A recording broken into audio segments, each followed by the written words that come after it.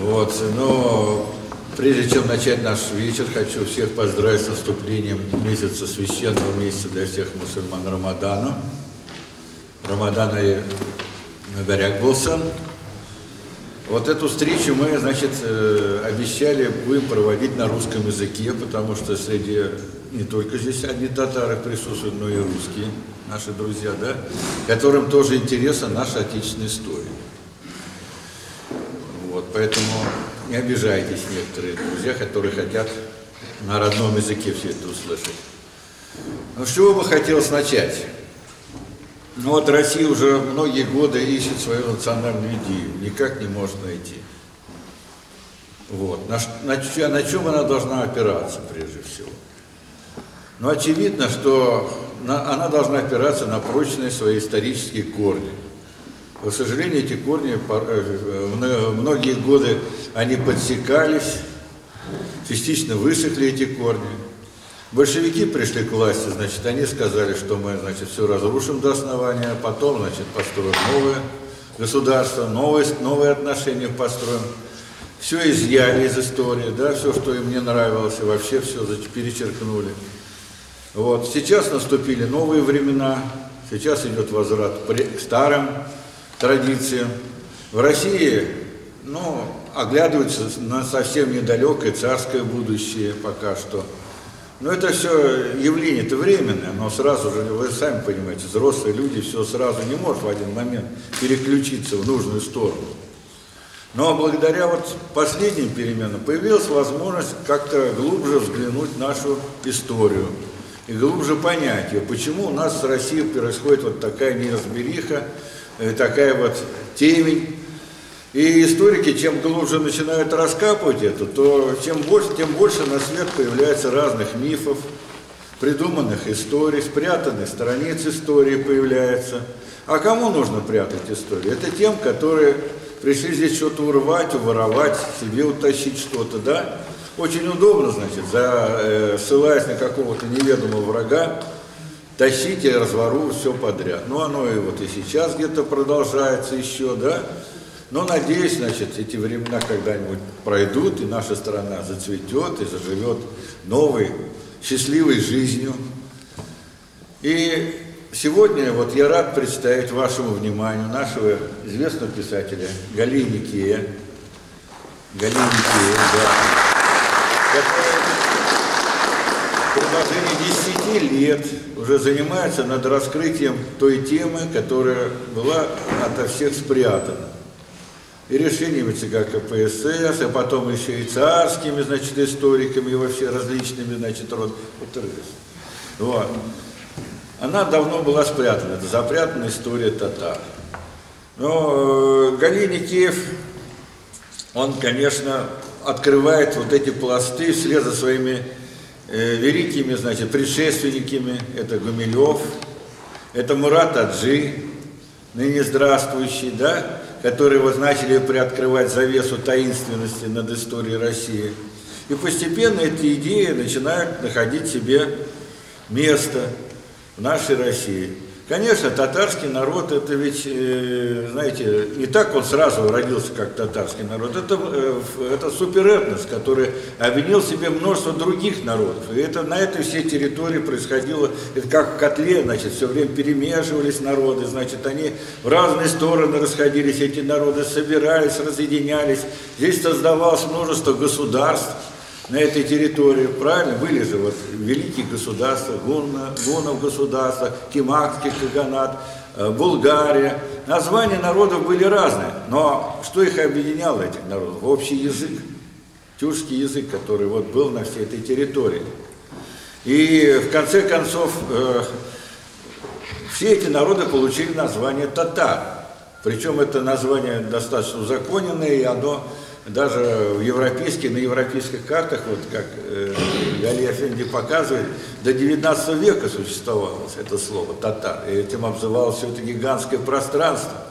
Но самое главное вот в трудах Гали Афенди, это вот то, что он развенчал, продолжает, точнее, развенчивать иго о монголо-татарском иге. Ведь не было никакого ига, во-первых, а во-вторых, не было и монгол тоже при этом, понимаете? Вот. Был единый народ. Единый народ с общей культурой, говорящий, да, в принципе, на общем языке, был язык межнационального общения. Но вот все, во всем этом Галия Фянди расскажет. И вот за годы своего труда он э, написал ну, такие четыре, наверное, основные книги. Значит, начал с того, что Чингисхан э, и татары, мифы и реальность. Вот своя первая у него работа вышла. После этого, значит, вот вышла книга «Корона Ордынской империи». Потом по следам черной легенды была книга.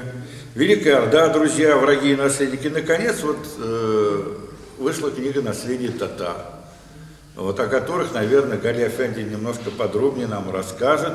И надеюсь, что он расскажет о своей биографии, о том, как он такой вот творческий свой путь проделал за эти 10 лет. Все-таки прошло немало времени, да, много, наверное, крови пришлось пролить, да, в битвах, значит, с разным историком. Все это будет очень интересно.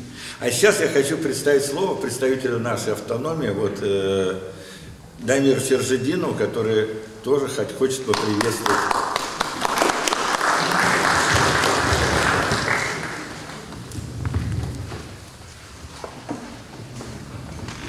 Ассаляму алейкум, варахматуллах ва баракатух. Исамис Катыргудуслар. Здравствуйте, дорогие гости нашего татарского культурного центра.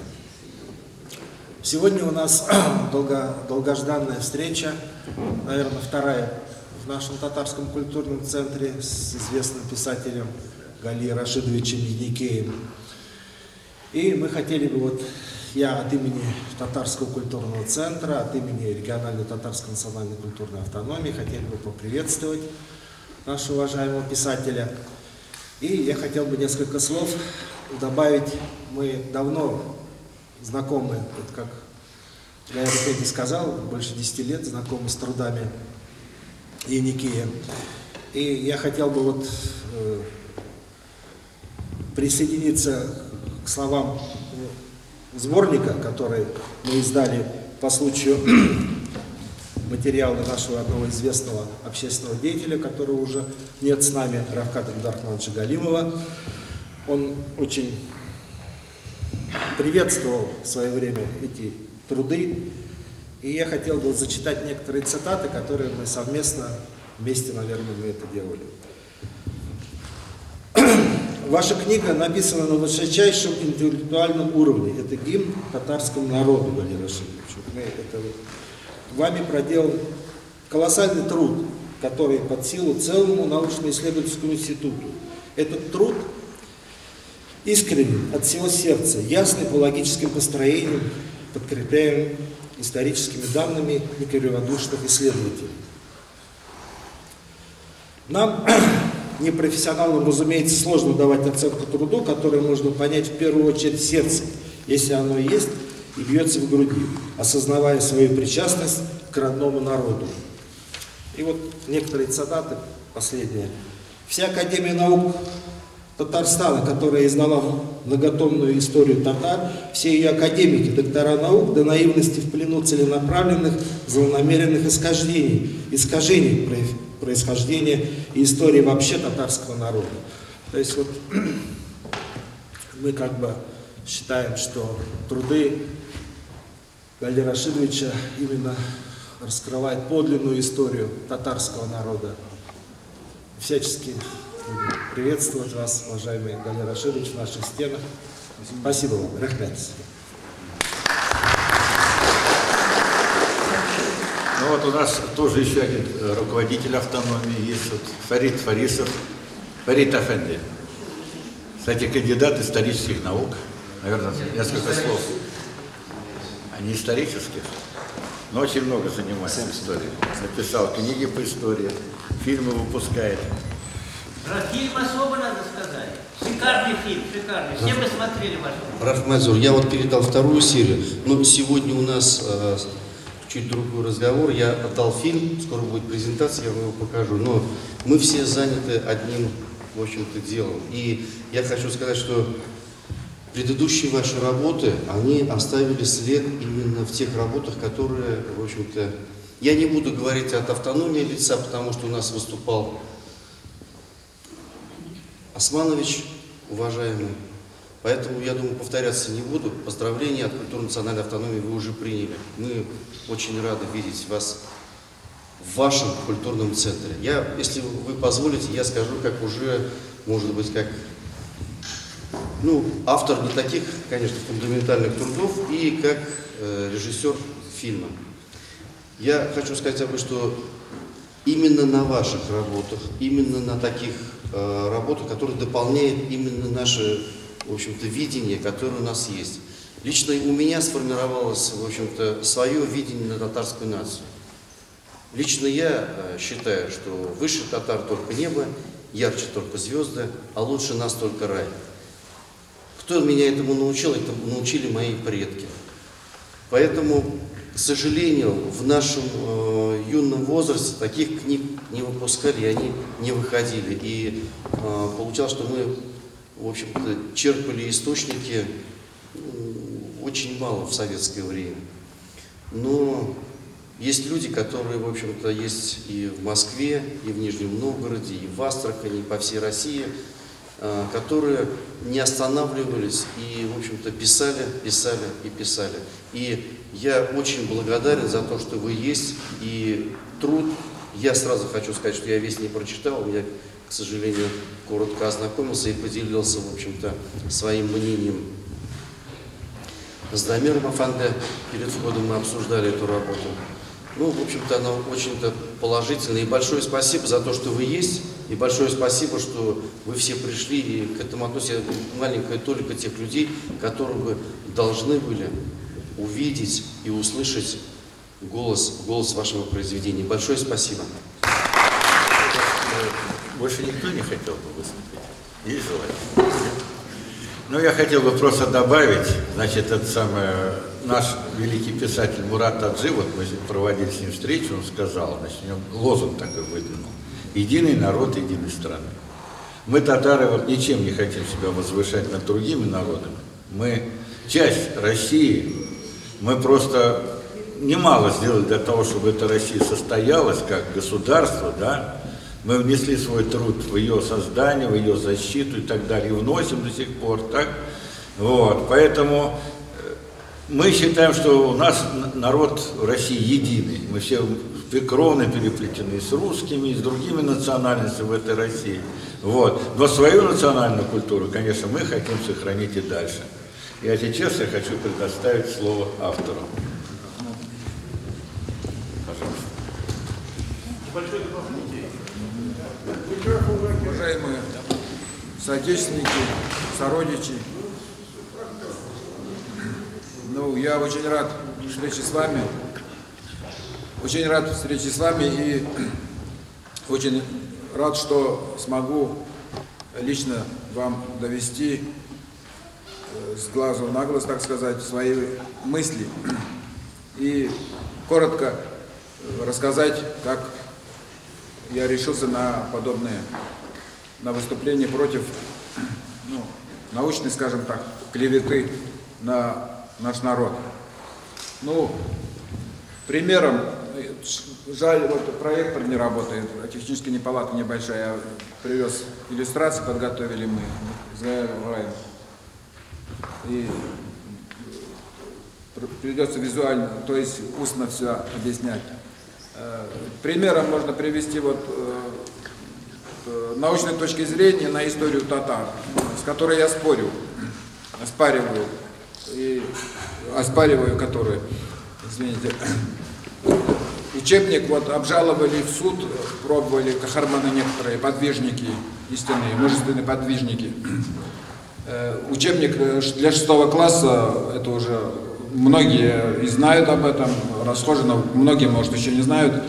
Э, Преображенский Рыбаков, ученые писали, оно одобрено Министерством образования и науки Российской Федерации, ну, научно утвержденное это э, тираж 30 изданий выдержала, 12 а, изданий выдержала, выходные данные я тоже там писал, и где-то по 30 тысяч экземпляров.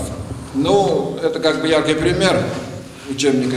Там более ярко выпуклая вот эта антитатарская вот эта направленность э, нашей истории, тезисы. Там более выпукло показаны были. И как пример использовать можно, и поэтому его обжаловали в судебном порядке подвижники из национального движения татарского, но безуспешно, поскольку э, бороться с подобным с подобной клеветой, э, с научно освещенной, скажем так, э, легитимизированной, э, то необходимо на том же поле идеологическом и, скажем так, легитимизировать научно уже новую точку зрения на историю татар. Там что интересно и какие примеры можно привести? Ну, там есть иллюстрация 13 века, датируется иллюстрация английская, приписывается англичанам, происхождение этой иллюстрации. Там э, на вертеле, э, на шампуре таком, э, татары жарят человека, ну и поедают там, конечности отгрызают и прочее. И, и надпись «Монголо-татарские захватчики. Представление западного мира». Ну, пояснение этому есть, если бы это даже английское, англичане рисовали, среди англичан было много католиков, они в 13 веке как раз э, пытались захватить Британию, как раз повлиять. Матвей Парижский был такой э, большой публицист, антитатарский, именно антидвижение. Вот он там писал много, э, кое-что и правду вкраплял, и мы можем так собирать информацию о наших предках. Ну, вот эту историю я знал с детства, начал познавать, поэтому но история, она противоречит тому, что я знал со слов своих предков. Вот как раз о роде Яникеева говорили, ну, это древний род, древнейший, он идет из племени Мангып, но племена они меняли названия, Мангып тоже есть, Мангып тоже продолжением является, вот Кьята, и так менялись, потом уже распались, народ увеличился и пофамильно уже остались. Многие фамилии, Давлетшины, Яникеевы, Акчурины, это многие, и многие-многие другие мурзинские фамилии есть, бийские. Это я попозже объясню. Ну и, в принципе, и вот э, то, что вот это несоответствие с юности меня, в общем, не давало покоя мне. Почему так? И уже возмужав, став уже, так сказать, зрелым, я это наблюдал в жизни, многие ваши, вы тоже встречались с отношением. Именно последствие такое, это последствие идеологии государственной, то есть, которая веками насаждалась, вот эта наука, то есть наука уже э, обосновывала идеологию, подпитывала антитатарская, антиордынская. Почему так? И негативные явления, конечно, и в отношении татар тоже высказывались там поговорки возникали разные, ну, э, э, образцы народного в кавычках творчества, это все насаждалось сверху. И вот эта идеологическая, э, идеологическая вот эта работа, которая велась и ведется и ныне по инерции, и она, в общем, должна как-то встретить какое-то противодействие, я так полагал. Поэтому Э, я собирал материал и обосновывал уже свои работы. И решил я их уже мне люди, многие я уже при встречах, при этих, при разговорах, беседах с людьми это излагал, вот эту точку зрения, мне предлагали это все публиковать. Ну, как я начал, решил публиковать, э, сначала думал я это все научно объяснить, был наивным, что можно э, пойти к ученым, объяснить, логически все это подтвердить, и они это увидят, поймут, и это пойдет, и в общем, начинать с научного мира все это рушить. Но многие вы читали на исторические темы, знаете, что такое э, наука история, что это за система пирамидальная, как она построена на тезисах, которые уже даны, раз, и они как бы научную истину, допустим, пришли монголы, э, завоевали в 13 веке Русь, ну там и других наших, всю Россию, в общем, ну вот территория России. Многие народы, булгар завоевали, были, был такой народ булгар, их завоевали, Копчаки был такой народ, их завоевали, это все наши земляки, соотечественники, потомки наших земляков.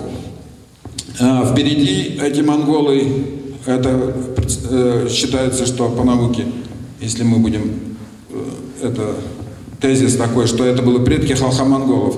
И калмыков частично. Ну, вот монгольские народы называются сейчас они. Они главенствовали, гнали впереди татар и всякий сброд. Ну, и вот поэтому называли вот этих самых-самых плохих из этих завоевателей, назвали татарами. Эти татары, оказывается, так и выжили, остались, вот они, мы сидим здесь, татары, большинство здесь, и я лично тоже из них, как бы получается, по науке так получается, если рассуждать тезисно. Ну, а, я уже работал, прекрасная была библиотека в Томском университете, и так я собирал потихоньку, находил, и решил я, мне говорят, давай публикуй или как-то, я пошел к ученым сначала. Они говорят, все правильно, вот так в личной беседе они признают это все правильно. Но ты, говорит, э, не сможешь это научно вот, ну, легитимизировать. Ты пиши кандидатскую, пожалуйста, у тебя голова, все, знания есть, только в конве э, научной теории вот этой в рамках напишешь, а потом уже пиши, что хочешь. Ты будешь кандидатом, будешь доктором наук, а потом уже напишешь, у тебя будет авторитет. Ну, я подумал, думаю, посоветовался я Э, с более такими мудрыми, со стариками. Ну, мне говорят, ну, вот тебе вопрос потом зададут люди. Прям вот так. Встретят тебе и зададут. Ты же нормальный человек, да? Не, не сможешь просто, ну, это, как это, ответ, рассмеяться в лицо человеку. Вопрос зададут, да вы когда правду вы писали, когда вы докторскую защищали или кандидатскую? Или же когда сейчас, вот когда вы то, что хотите, пишете? Когда вы правду решили написать, история наука. Ладно бы я там по другим защитился, допустим, по ну, юрист, если я по юридически э, кандидатом юрнаук стану, ну, там тоже профилирующий предмет история. Опять же, я должен, допустим, право Золотой Орды, если я напишу, опять же, я должен написать, что сначала, что да, вот пришли монголы, построили государство Золотую Орду, там были такие-то порядки, то-то, то-то, потом татары это развалили, передрались между собой, потом русские пришли, завоевали это все, ну и так далее. Ну, мне совет такой дал один очень умный человек, он говорит, ты пиши, что думаешь, обосновывай как хочешь, как считаешь нужным, и начинай печатать как, ну, пробивай, уже, это уже твои дела. Э, народ рассудит сам. Прочитает у нас в народе, умнее тебя люди есть. Так, и опытнее, и мудрее. Они прочитают, они оценят э, твои работы и поймут, это уже будет хорошо. Земляки других национальностей тоже поймут. Все. Ну, я начал вот это публиковать тогда. Э, ну, первый раз Конечно, с публикацией было очень трудно э, на эту тему.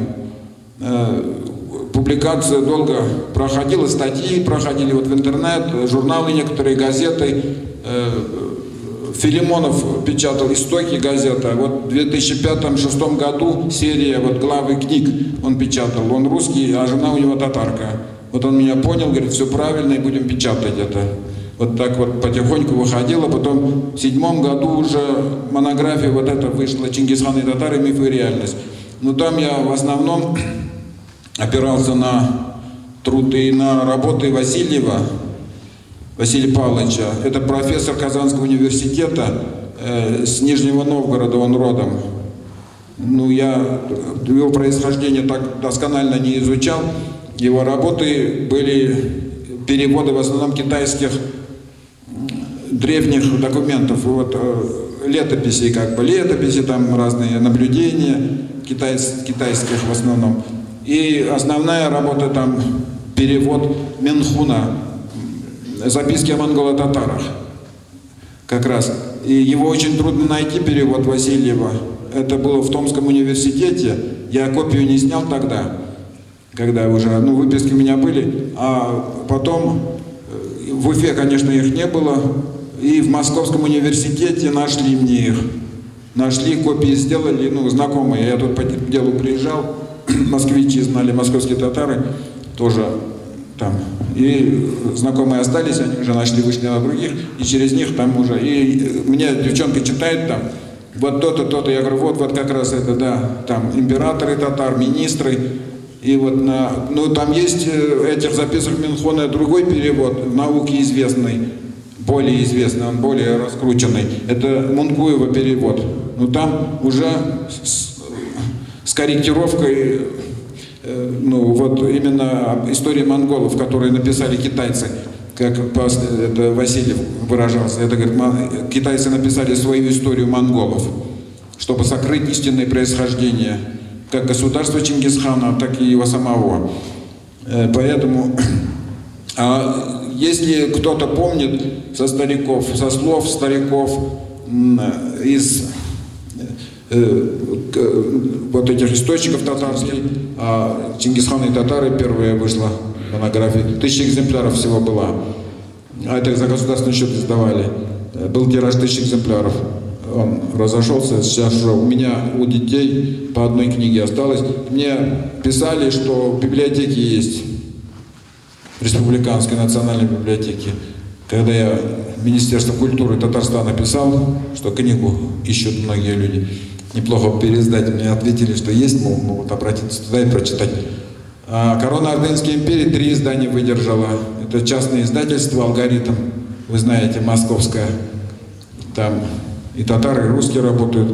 Поэтому они издавали, потом я корректировал, дополнял. Третье издание э, издавали в 2013 году. И э, вот столетие Гумилева было в 2012 году, тоже издавали. Но в «Короне Ордынской империи» я уже дополнял, как раз я опровергал, критиковал. Или опровергал, или критиковал, я старался опровергнуть, но говорят, что получилось, пишут многие, что получилось когда споры вот было, или Иго, э, там советуют прочитать эту книгу. Я именно то, что наши, сначала именно вот то, что место роль татар, это то же самое, что в монографии Чингисхана и татары было. И еще опровергал вот это вот нашествие, завоевание кровавое, вот то, что Преображенский пишет. Кстати, там пишется, что именно татары, не, не монголы там, не, не монголы-татары, а именно татары напали на Русь, брали Рязань, там всех уничтожили, потом Владимир штурмовали, всех, э, чтобы сломить волю сопротивлявшихся, э, осажденных там защитников э, города Владимира, выгнали босых, там раздетых, разутых на снег, зимой в мороз, ну, перед стенами крепости, там Хотя, наоборот, должно быть, если так, такими вещами занимались осаждающиеся, то упорство обороняющихся только возрастает от этого. Так, а тут ученому, ну, ученый решил, что так вот показать надо татар. Ну, и там еще и подытоживается это все тем, что, что характерно, об этом нельзя забывать и сегодня. То есть, понятно, да, отношение. Вот так, так строилось, теперь главному, так строилось отношение между русскими и татарами, э, между двумя самыми крупными нациями России, нашего Отечества. Именно на этой истории. Ну, люди вот читают историю эту, но тем не менее не поддаются. Люди бытовом уровне видят русские, кто такие татары. И я вот живу, сколько уже 50, ну сколько, 45 лет сознательной жизни пусть будет, я такого не встречал, чтобы вот мне говорили, ну именно под влиянием идеологии, что э, вы, вы вот такие-то раздяки, и, ну очень редко так, но чтобы отношение такое основное было э, к татарскому народу, такого я не ощущал, но факты есть, что именно это влияет на отношения, конечно на место наше, на бытие татар. Поэтому и основное мое было еще одна задача, скажем так, поставленная перед собой, именно вот это вражду, вражду вот эту нейтрализовать, которая насаждалась вот этой идеологией. Ну и происхождение этой идеологии я тоже объясняю в своих работах. Нужна была с приходом где-то в начале 17 года пал последний ордынский царь, э, режим в Москве. Именно в Москве он был, его так и называли татарин Годунов, Борис. Татарин, зять Малюты. Сам злодей, ну, в душе палач, как писал Пушкин, тоже под влиянием этой идеологии. После этого приходят к власти Романовы. Это не я придумал, это уже впереди, которые у меня работали, они уже знали это, писали, что Романовы именно прозападные. Это писал Ключевский еще в 19 веке, что Романовы именно прозападные были западники, прозападное правительство, они слушали советов указаний с Запада. И именно они ввели крепостное право. И после этого уже ужесточилась эта система. И э, пошла, пошла вот эта вот система, этот режим пошел, закрепившись в Московии, на Руси Московской, э, которая уже объединенная была, оставленная ордынцами, оно пошло на территорию восточной, на территорию Татарии. Э, в смысле, в широком смысле Татарии, которые изображали западные авторы в своих картах, которые сохранились вот эти карты. И установлению, тогда уже было установлено, именно как писал Трубецкой, романа «Германская ига». Именно, ну, где-то оно закрепилось со времен Петра уже. Сначала оно так насаждалось, работали над этим, и со времен Петра оно уже установили. Вот тогда необходима стала идеология, чтобы замутить, чтобы столкнуть людей и разводить их, как говорят, ну, проще говоря, разделяя и властвуй. Если, допустим, народы будут между собой дружить, русские татары и прочие земляки, то трудно будет, допустим, если их давить, покорять чуждому государству, расположившимся в стране как оккупационная армия. Это не мои слова, это оценка Герцена. Как раз романовское правительство он такую оценку давал. Поэтому и нужна была вот именно эта идеология. Она и все авторы замечают, что оно начало вот распространяться, силу набирать, принимать научную форму уже такую. Это именно в 18 веке. Сначала вот с 18 века. Поэтому и оно осталось так, уже как научно подтвержденное, оно идет как бы по инерции. Большевики тоже это переняли, использовали в своих, ну, в своей деятельности политической. Им нужно было, конечно, нивелировать советский народ, это все превратить нас. Поэтому и так оно и теперь досталось нам, э, России, новой России.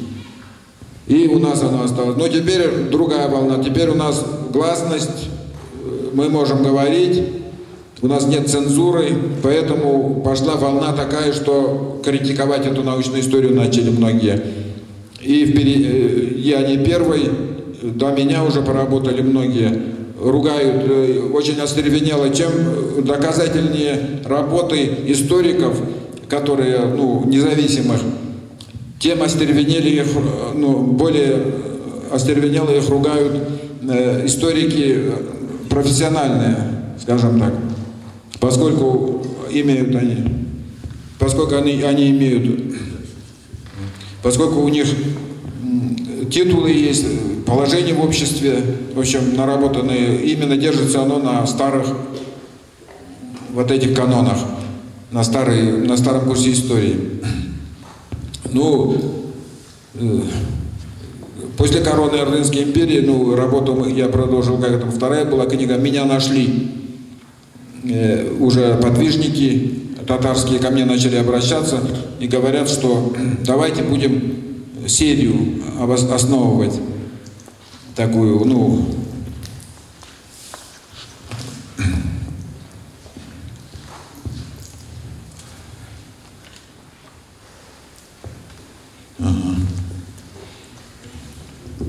Извините.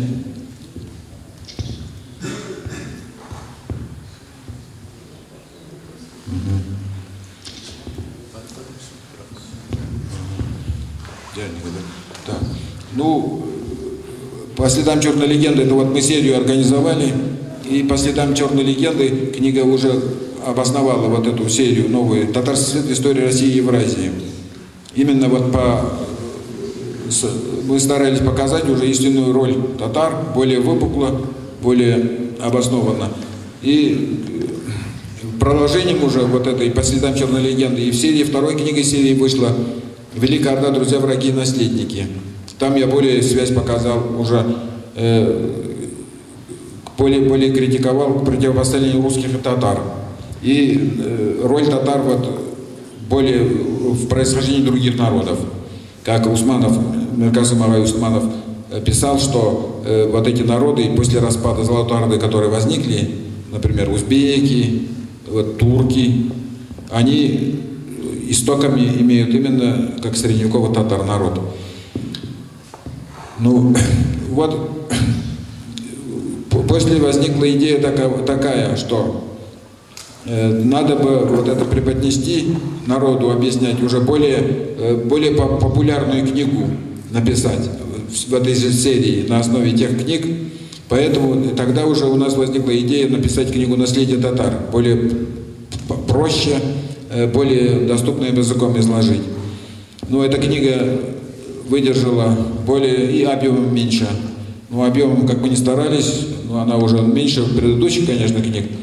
Язык тут мне помогали вот Шахат Китапче, соавтор, подборе материала, другие помогали, финансирование и издание. И после мы подкорректировали вот это третье издание книги «Наследие татар».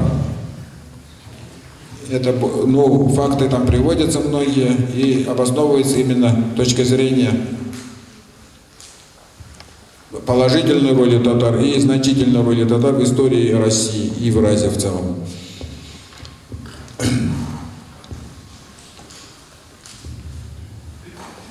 Ну, главы тут изложены.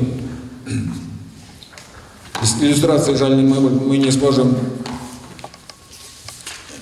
показывать вам. Проектор не работает, да? Так, ну, сначала мы... О чем эта книга объясняется? То, что подлинная история татар, как выражался Дамир Исхаков, и она не написана, подлинная история, это исторического народа. Поэтому э, есть необходимость в том, чтобы развеять клевету, как в отношении русских, так и татар. Это уже слова Гумилева это вкратце объясняется. После этого, э, ну, мы композицию изменили, если кто читал предыдущие издания, и дополнили ее слегка. Э, композицию изменили, глава первая, татарские слова в русском языке. То есть э, влияние татарской культуры, в целом татарского народа на культуру, на материальную культуру и на духовную культуру России и русского народа Э, выразилась в том, что татарские слова в русском языке э, в изобилии имеются. Там переводы слов приводятся, не все, конечно, слова, чтобы все слова привести, анализировать. И вот тоже говорили, вот слово, слово такое, я приводил там, по-моему, или нет, его перевод не давал. Каламбур, например. Каламбур. Есть толкование такое, чисто про западное слово каламбур. Вот сейчас только э, перед началом нашей встречи мне говорили, каламбур – это из татарского слова, из татарского языка слова. А объясняется, что это с французского, там более культурного, конечно, языка пришло, якобы. Но каламбур – это конкретно халямбур, халямбур. Э, вертеть э, пером, писать. То есть замысловатое выражение такое – вот эти слова в русском языке, ну, например, мало кто знает, арка тоже, вроде архитектура, с архитектурой. Мы же были кочевники вроде как по науке, наши предки, то есть э, никакой культуры не было, ничего не строили, только разрушали, ходили по всей Евразии. И э, занимались, грабили, вроде бы, по науке, если. А, а почему? А из татарского языка пришло так арка, чердак, сурьма, например.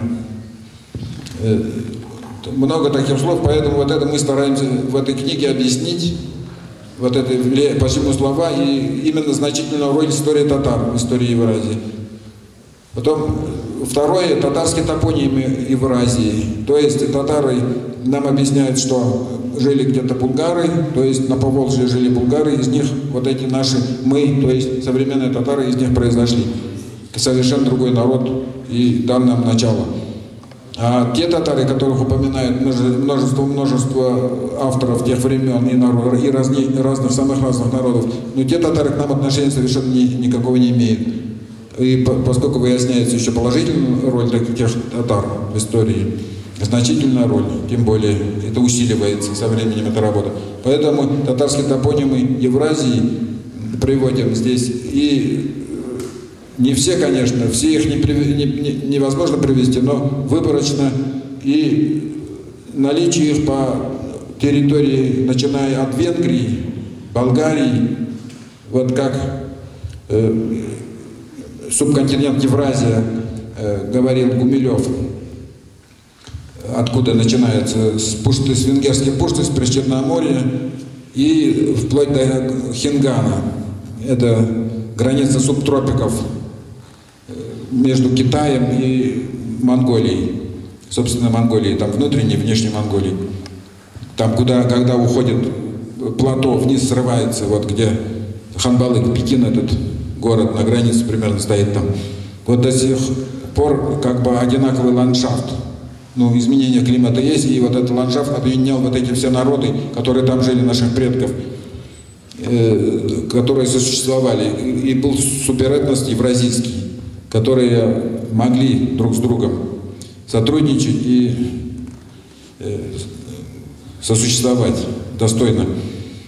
И поэтому, а вот эти все э, территории объединяют, э, они густо насыщены татарскими топонимами. Именно с татарского языка они происходят. И, допустим, Байкал – это Байкуль. Именно э, я показывал в своей книге, как Чингисхан и татары, и в короне Армянской империи, э, что татары и на Байкале жили. Буквально источники говорят, что вот татары там жили, есть топонимы очень похожие, и даже Другой источник татарский говорит, что вот легенда о роде Чингисхана, там как раз совпадает топоним Мальта, село Мальта на Байкале, как раз где бабушки Чингисхана там родители жили, как бы. Ну, это легенда, но легенда содержит факты, какие-то факты, которые до нас дошли. Вот так же, как легенда о Трое содержала факты, по которым археологи нашли город этот. Был, есть такое. Поэтому эти легенды, они тоже. Они, эти легенды, эти тоже э, ценной информацией обладают. И вот поэтому, чтобы человек, читающий, обративший внимание на эту книгу, сразу понял, что топонимы, они не просто так татарски по Евразии рассыпаны, а это следствие чего-то. Потом татарские фамилии в русском народе. В русском народе огромное количество татарских фамилий. Э, многие фамилии, они и как в русском народе имеются, и среди русских, и среди татар имеются. Например, Сабуровы. Сабуровы есть татары, Сабуровы есть русские, Нагаевы есть татары, есть русские, которые уже русскими себя считают. Поэтому это уже говорит о глубоком таком взаимопроникновении, даже не, не то, что взаимопроникновение, а о том, что Гумилев писал, подтверждает слова Гумилева о том, что э, татары народ не вне, а внутри нас. Поэтому и потом глава, главу мы привели примеры поэзии средневековых татар. Это предложение было моего соавтора, материал он подбирал. Э, тоже опровергает тезис о том, что татары имели низкую культуру, культуру, вот господствующий в Золотой Орде, например, народ. Э, именно из среды татар и учились в столице Золотой Орды, в городах Поволжья, эти, вырастали эти поэты, примеры поэзии, они официальной историей объявлены просто тюркскими или среднеазиатскими, ну, уловки всякие применяются. Ну, примеры поэзии приведены. Потом глава пятая о том, когда татары исповедовали ислам и христианство. Начали исповедовать, начали исповедовать ислам и христианство. Тоже кривотолки разные есть. Есть тут влияние, конечно, персидских и ближневосточных авторов насчет ислама, что нам из Багдада привезли ислам в Поволжье. Но в истории есть другие факты о том, что Поволжье это 10 век, что вы Поволжье привезли и насадили ислам, тут как бы нам подарили. Такое культурное посольство было. Но есть другие факты о происхождении ислама и о веровании наших предков. Поэтому я туда включил это в главу, что гораздо ранее, даже при жизни, даже в этом виде ислам, который уже Мухаммад, э, единобожие, который не спослан был Коран, и Мухам- Мухаммад, Пайгамбер, мир ему, и благословение Аллаха, он распространял когда, и в этом виде уже до, даже при жизни Мухаммада принимали татары, ну, уже исповедовали татары этот ислам, эту веру. Есть такие факты, и эти факты были там изложены, приведены. И насчет христианства я изложил мнение, конечно, самих татар-христиан, ну, таких более просвещенных представителей татар-христиан, как Сысоева и Бухарова, что где-то еще в седьмом веке, а то и ранее, может, татары начали исповедовать христианство, татары-христиане. А насильно, они насильно их там крестили, и вот они, мол, насильно крещенные, так и исповедуют эту религию, насильно им э, врученную эту легенду, они сами опровергают, я согласен с ними, с моими братьями, так, татарами. Так. Ну и о вере там я еще, конечно, мы показали, что сильны были татары тем, что была веротерпимость. Это еще задолго до буржуазных вот этих идеологий о равенстве, то веротерпимость уже была предписана, если законом, в законом, в правоустанавливающем виде, это нормы были приняты уже в Великом Язу Чингисхана и издревле. А вообще в менталитете татар было издревле, это веротерпимость. И они сами говорили, Бог дал людям веру, э, пути разные, как пять пальцев на руках. Поэтому Бог один, а веры разные. В принципе, это признают более просвещенные э, религиозные вот, те- теологи и мусульманские тоже, что Адам, Гайса, они и пр- прочие прор- пророки, мир им, Муса, они все были мусульманами. Ну, то есть они были, исповедовали единобожие. Тут принцип основной был единобожие, то есть признание одного Бога и никого кроме Бога э, высшим Творцом. И владыкой мира. Поэтому а уже э, божественным признание божественным что-то другое, это уже как бы язычество. Поэтому это много, кстати, про Чингисхана очень мало пишут, то есть про это вот, как и вот про его теологические такие высказывания. И много есть материалы, но я все не смог еще привести в книгах, это отдельные книги надо, конечно. Там такие есть слова, что показывают его очень такое продвинутость большую. Он даже критиковал э, некоторых мусульманских священников, что как, говорит, нельзя, говорит, Бога вот поместить в одно место.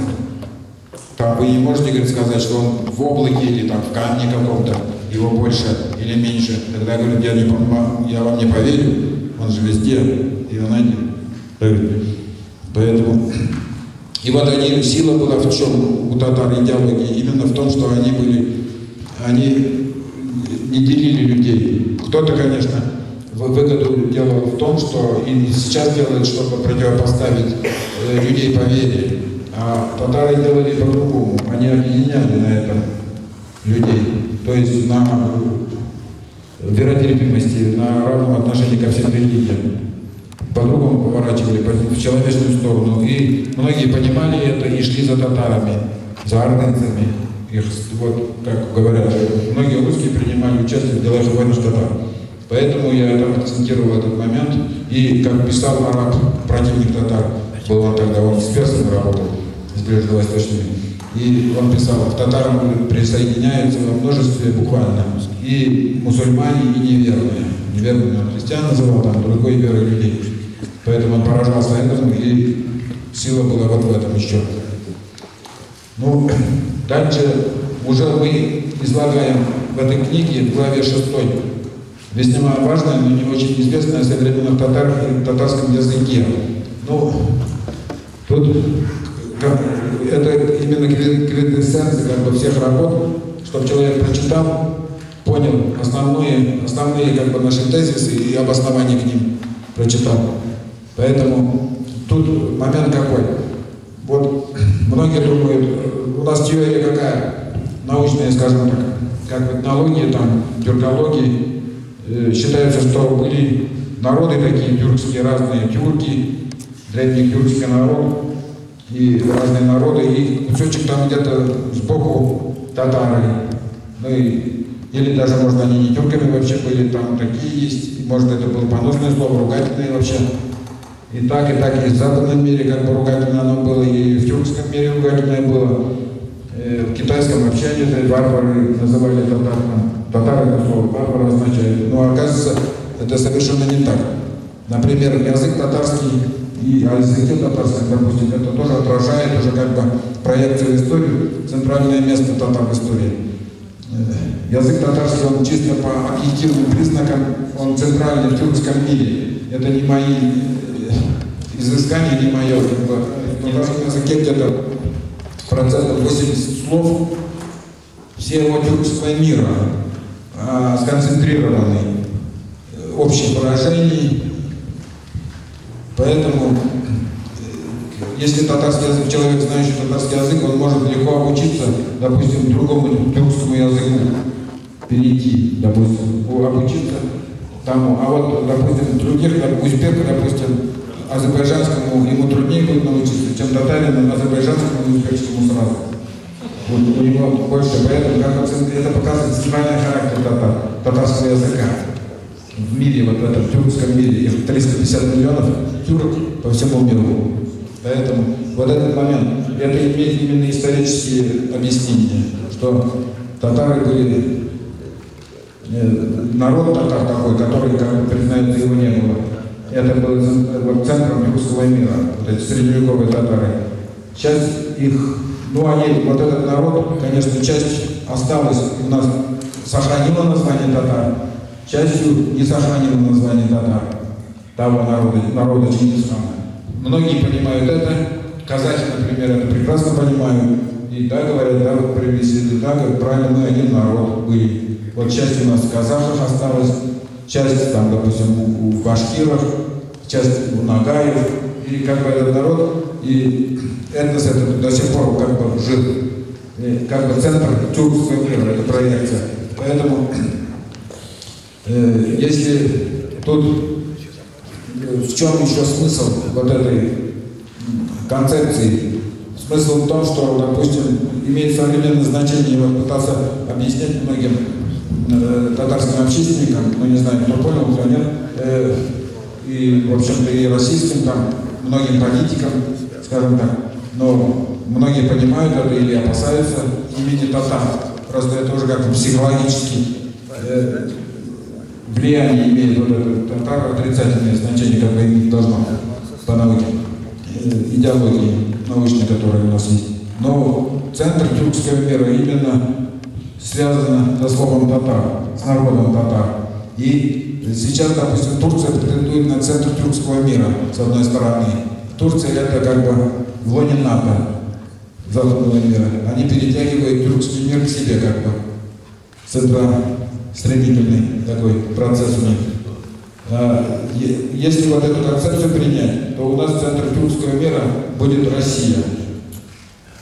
И многие это поймут. Кстати, я понимаю, они, они знают это, вот эти многие тюрки, казахи, допустим, узбеки. Узбеки это откуда народ, допустим, пример, отступление большое сделали. Узбеки народ, э, такой народ это конгломерат. Вообще-то это узбекская нация, это конгломерат разных разных народов и племен.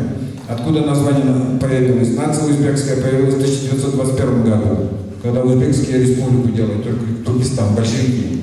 Также уйгурская нация возникла, там тоже конгломерат разных. Раньше эти народы Восточный Туркестан назывались татары Восточный Туркестан. В Узбекистане узбеки возникли из названия племени, клана. Это узбековичи. Они все ушли, когда была вот эта вся э, междоусобица в Золотой Орде, в эти времена, они уходили в Среднюю Азию, многие там оседали, узбеки, узбекля. И вот татары говорят по предводителю, допустим, татарском языке характерно, допустим, кто с ним, с узбеком, допустим, узбеклян, узбеки. Кто с Колчаком, это Колчаком. Вот старухи нам рассказывали в детстве, вот Колчак Махмедля. колчаки пришли. С Колчак, ну, колчаковцы, значит. Поэтому оттуда и пошло вот название. Как назвать? Самый влиятельный клан какой? Узбеки. Народ какой? Кто более влиятельный, тот узбек. И среди них, вот Исхаков говорит, да, они же говорит, татары, говорит, там, говорит, процентов 20 точно, говорит, этих узбеков. Ну, и по лицу там видно вот это.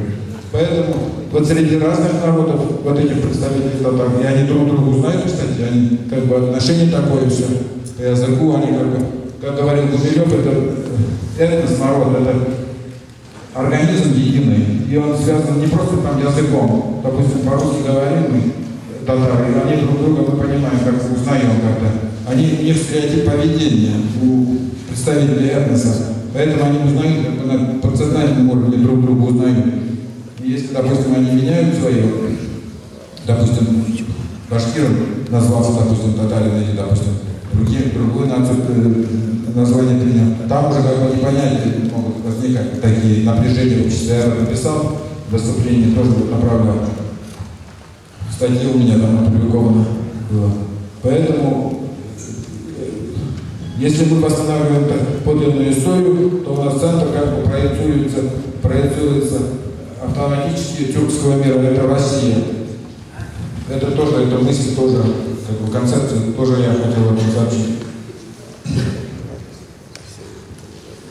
Ну, о современных татарах я вот тоже отразил, что именно среди других народов не то, что там есть вот бывшие племена, которые сохранили, это я больше отработал э, в книге «По следам черной легенды», а именно, что они даже этническое название еще сохранилось. Вот, часть этноса там осталась, допустим, татар, у узбеков там клан татар, допустим, даже у маньчжуров там осталось, там тоже оставались, и среди них даже сохранился клан такой, род даже татар.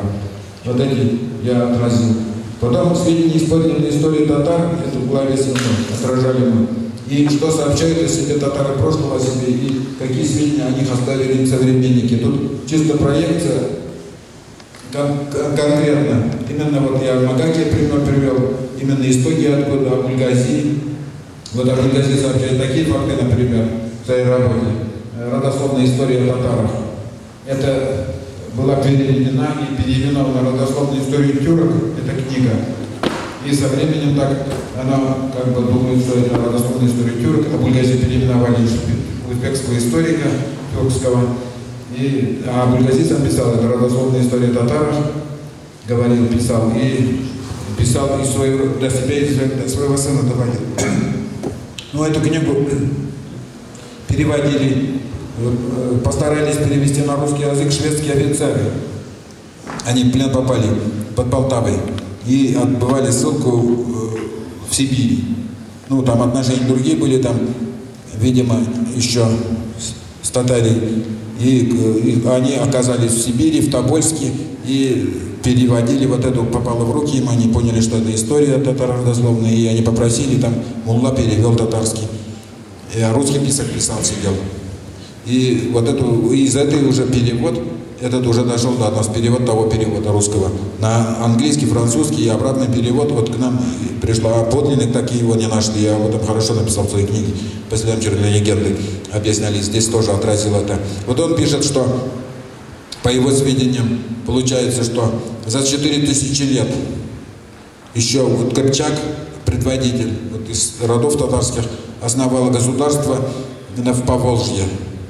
Поволжье, на Каспий частично вот объединил там русских, башкир, башкирами называли венгров, уральских тогда, башкирдами, э, на, на персидском.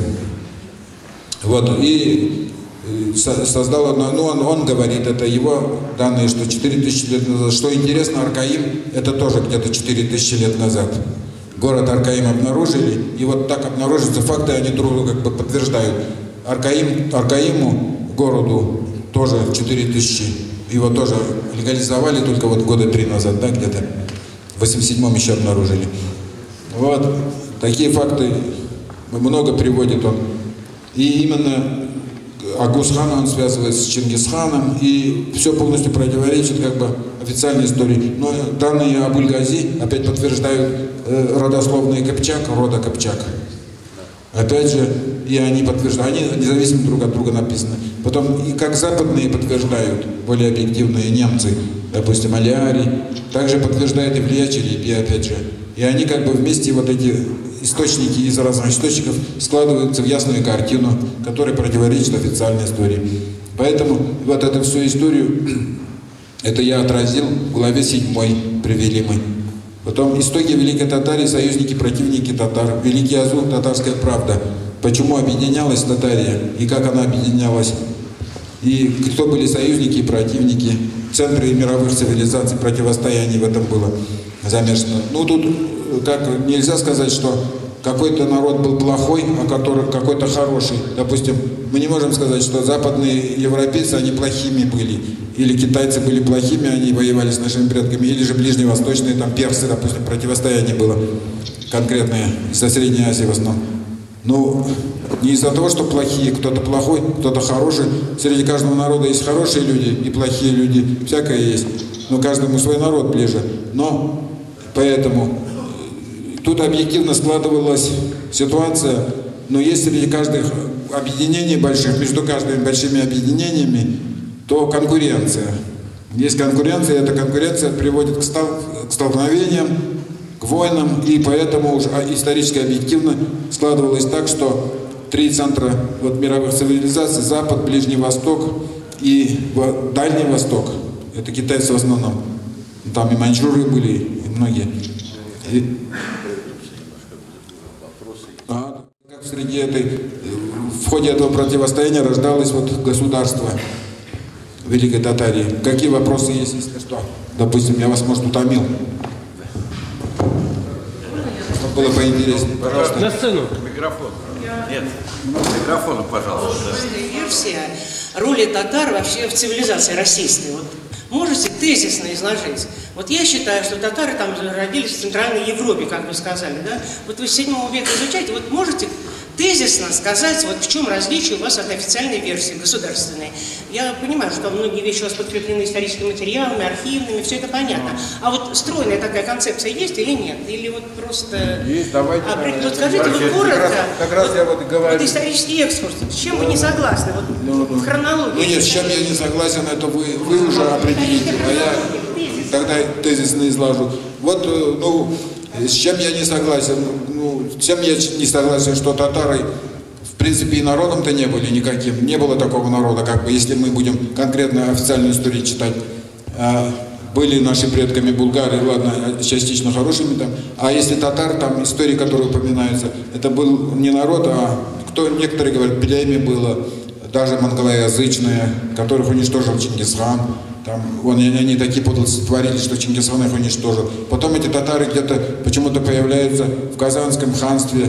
Они там верховодили, угнетали мирных булгар, наверное, так получается. Они тоже творили зверства. В Крыму тоже. Они воровали крестьян, там угоняли в рабство. Э, в рабстве держали 2000, 200 тысяч русских. В Казанском ханстве, например. Босиком они ходили зимой, да. Непонятно, в что их одевали. Потом Иван Грозный их освободил. Ну и мирных там других мирных земляков, просто, как я говорил. А тезисно, если, допустим, татарский народ был издревле, как он упоминается древними авторами, как раз вот, что сообщает, как раз это нам сведения о подлинной истории тогда. В главе 7 мы короткие тезисные постарался это изложить.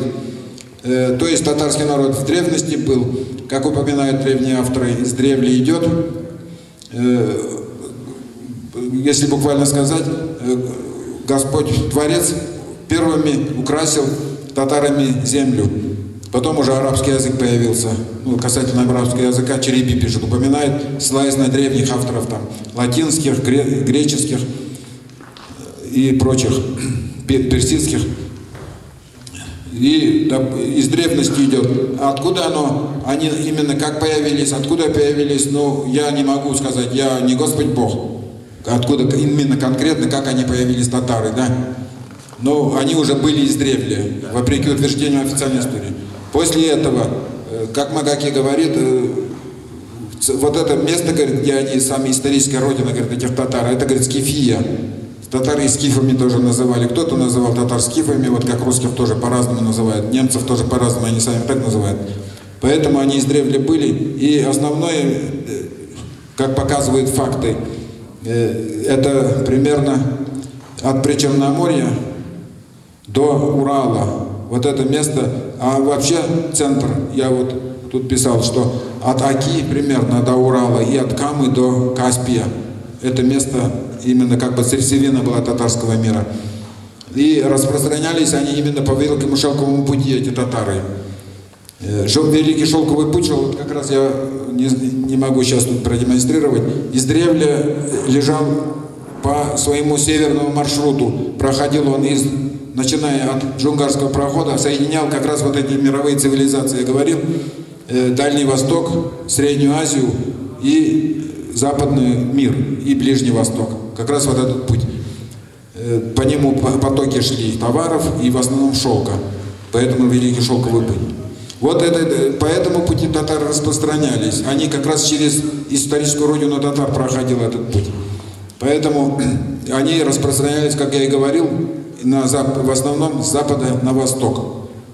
Из Средней Азии туда, э, в сторону Китая. Поэтому и Васильев пишет, что уже в 7 веке китайцы отмечают вот этих, и местные там источники отмечают татар, как светловолосых по сравнению с другими местными населениями. А там возникают, и были они в Средней Азии тоже отмечаются, и в Поволжье отмечаются. Поэтому, а именно вот это распространение по Великому Шелковому пути дало уже начало становлению вот этой империи Чингисхана, движения ордынцев. Поэтому вот это государство, объединение вдоль Великого Шелкового пути, там, где его влияние было послабее, где э, больше уже по сторонам. Вот эта империя, она объединилась. То есть государственнообразующим э, этносом вот этой империи был именно татарский народ, средневековый татарский народ. Не только потомки, то предки современных татар, которые, допустим, сейчас в списочном составе есть 5 миллионов, не только их потомки, это немножко не так надо понимать, а именно средневекового татарского народа, потомки которых сейчас и в среди народа в основном как бы относительно в разных степенях сохранивших название татар. Крымские татары, поволжские татары, которые не сохранили название татар, но многие там племена сохранили своих предков, потому что считалось татар название поносным, поэтому кто-то в невыгодных обстоятельствах, допустим, его спросят, как твоя национальность, допустим, ты с какого народа, ты кто? Ты татарин? Нет, он может сказать человек, я не татарин, допустим, я копчак, или я нугай. Тоже правильно, да? Можно понять этого человека. Значит, э, резюмируя, можно сказать, что, значит, татары возникли на перекрестии шелкового пути, там начала мощно развиваться цивилизация, мы, татары, на этой земле жили вечно и никуда не уходили. Так, теперь, значит, еще кто там может задать, да? Мухаммед Афенди, давайте. Да, как раз. Рахман, по-русски, по-русски, чтобы все понимали. Гали Efendi, Kadir Tatar eğitiminde başta biz Tatarlarla ondan Rusçası eğitimi. GAli Efendi, men sizge mana biz kitabımı böyle gitmekçi bolam. O, o toponimический словарь Мещеры deyip. Mana bu bu biride mana топонимика турында. И вот насчет татар хотел бы сказать. И там тоже о татарах. Татары происходят от слова татар, потому что человеку наименование не может чужой народ дать. Он свой, от своего, свой народ дал от слова такое. Потому что, э, как говорит это самый э, Миркасим, э, Мирфатек Закиев, он пишет, что в седьмом веке уже были известны татары. В седьмом веке, до нашей эры. Значит, до нашей эры в седьмом веке были известны татары, а в широком смысле татары стали известны только в 14-13 веке с Чингисханом. А почему же так получилось? Ну, с одной стороны, сейчас я объясню. Вот тюрки. Тюрки появились официально в шестом веке нашей эры. Но они что, э, сошли с дерева в шестом веке? Их не было, что ли? Нет, они были. Но они имели другие названия. А там чуть ли не тысячи наименований тюрков, как называют. Утригоры, Кутригоры, сарацины, там, этот, акациры,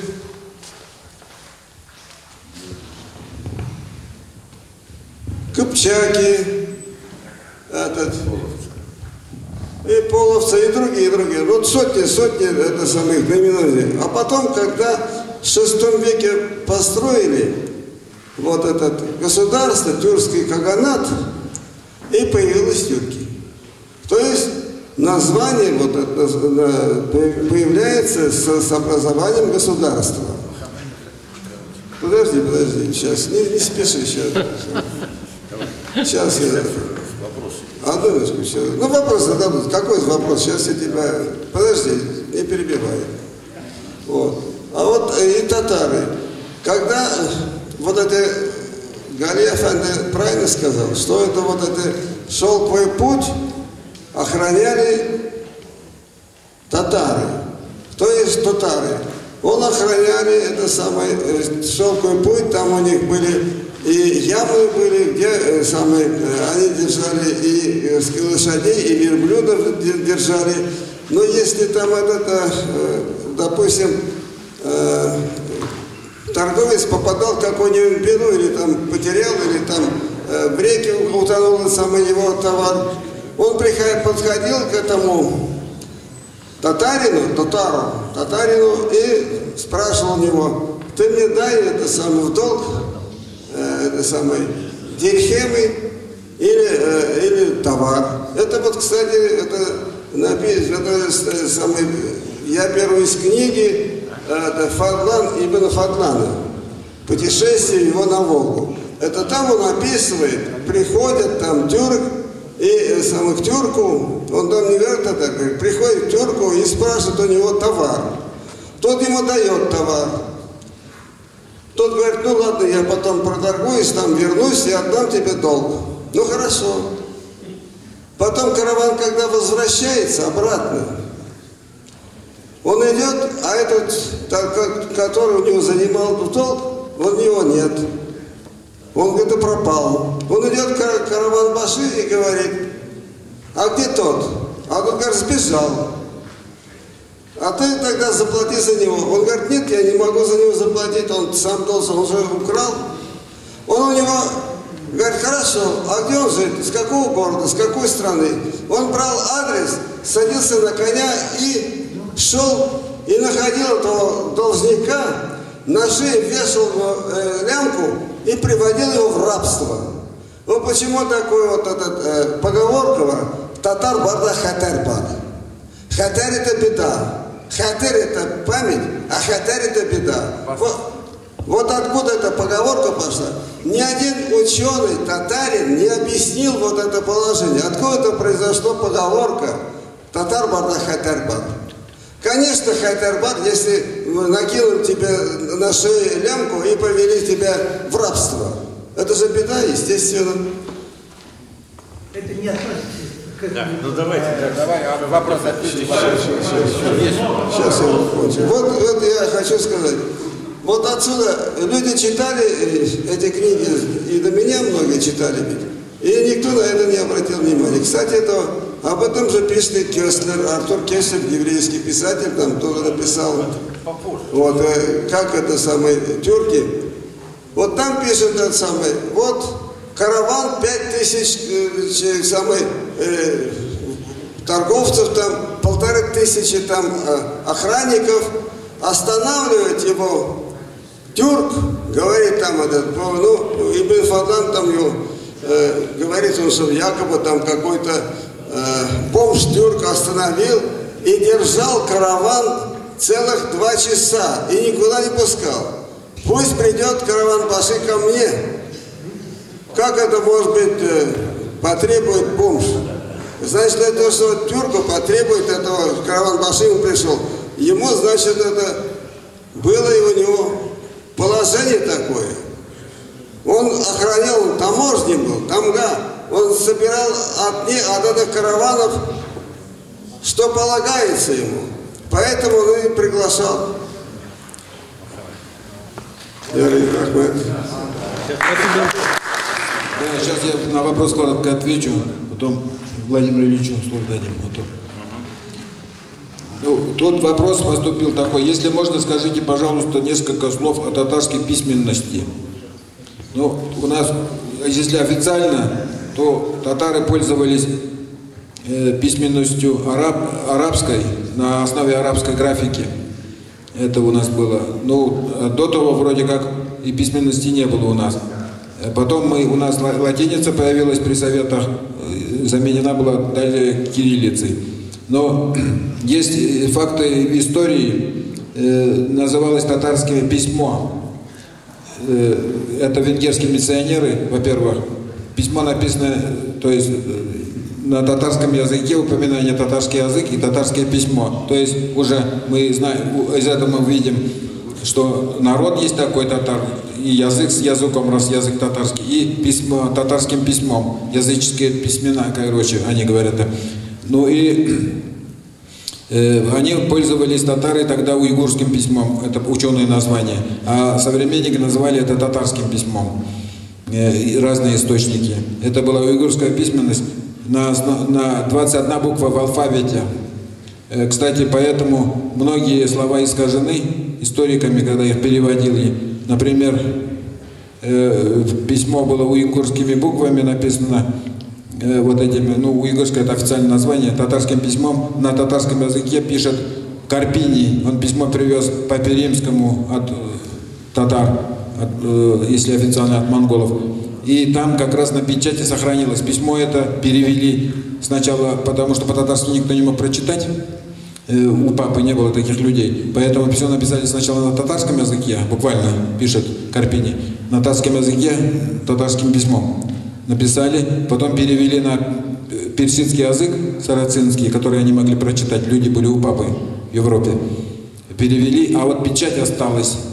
Печать ханская, и там буквы, и там написано, потом перевел э, э, Менгель Монгол Улус переводит, это пелье, француз перевел, прочитал его как Монгол Улус. После этого пошло Монгол Улус, и все эти переводы, и говорят, э, Монгол Улус, это значит, монголы сделали такой Улус, и это монгольская вот, это была страна. А написано было уйгурским письмом, если я вот брал, когда работал над книгой «Наследие татар», еще там упоминал, Э, Если 21 буква, там у них О и У, ну и так они созвучны на татарском языке, это а- одной буквой они. И многие тогда, поэтому слова искаженные получились. Допустим, булгар, это, если на арабском письме это э, там гласными только передается, очень трудно согласными пере- передавать. То есть, наоборот, гласные передать. И э, если на уй- уйгурском письмом было написано, то есть болгар могло быть. Или бул- болгар это значит сияющий. Откуда пошло? Потому что болгарцы сохранили это название. Ага. Наверное, это был город Болгар, а потом уже, когда надо было сделать это болгарами, народ, как бы якобы другой народ вместо татар там жил, тогда уже я это тоже отразил, показал. Поэтому, а татары, китайцы тоже упоминают письменность. То есть четыре письма у татар было письменности. Они были очень развитым народом, потом это уже назвали другими. Поэтому издревле у татар было, э, вот хотя бы вот это уйгурское письмо, это было у татар издревле. Поэтому и арабское письмо, например, оно и арабским называлось, оно, кстати, называлось э, кимакским письмом. Вот это арабское, что интересно. Есть данные, говорят, что я не могу сейчас, надо, конечно, работу проводить, это можно найти. Было, автор один высказывал, что это называлось не арабским письмом, а кимакским письмом. А кимаки было государство, основанное татарами. Это факты уж конкретно. Это было на территории Урала, Башкирии, частично Поволжья. И до Каспия даже доходили они. Эти. Да, и вот именно это вот арабское письмо в Кимаках первое появилось, оно как бы с запада пришло тут сюда на восток, в Поволжье. Так. Ну, а сейчас э, Владимир Ильичу хотели бы слово представить. Владимир. Да, да. Руническое письмо же оно было еще раньше. Еще раньше, конечно. Еще раньше. А тоже в ФБР. Вполне, вполне просто я... Так, не превращайте в балаган наше мероприятие. Конечно, ведущий наш виноват. Везде должен быть порядок. Выступающий столько минут, принят столько минут. Реклама. Да, правильно, хорошее слово. Уважаемые коллеги, друзья, с благодарностью принял приглашение виновников сегодняшнего собрания.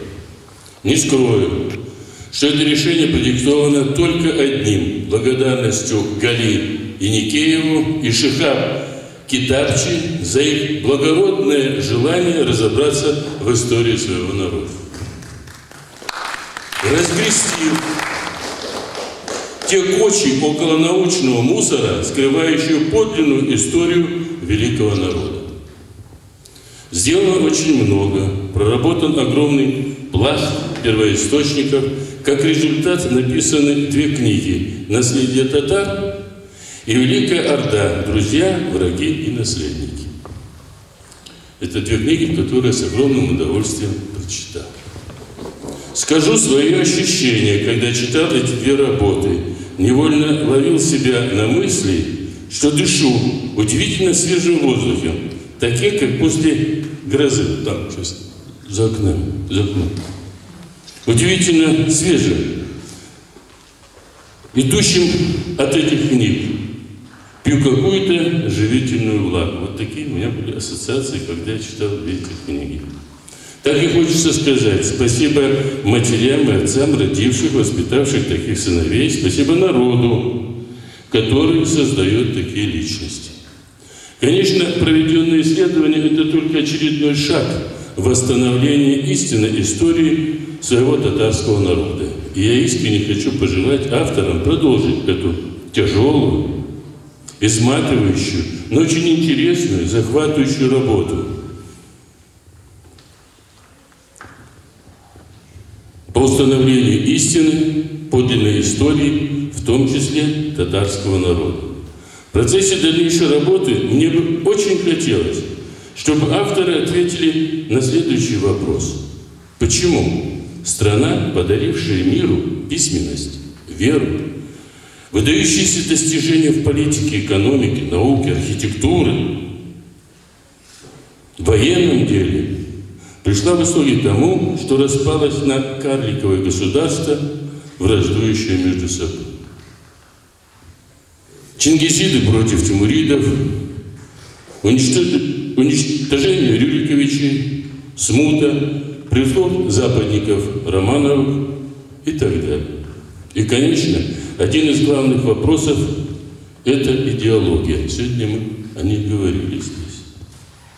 Неспроста в нашей Конституции она отсутствует. А это значит, у страны не должно быть цели, а значит не должно быть будущего.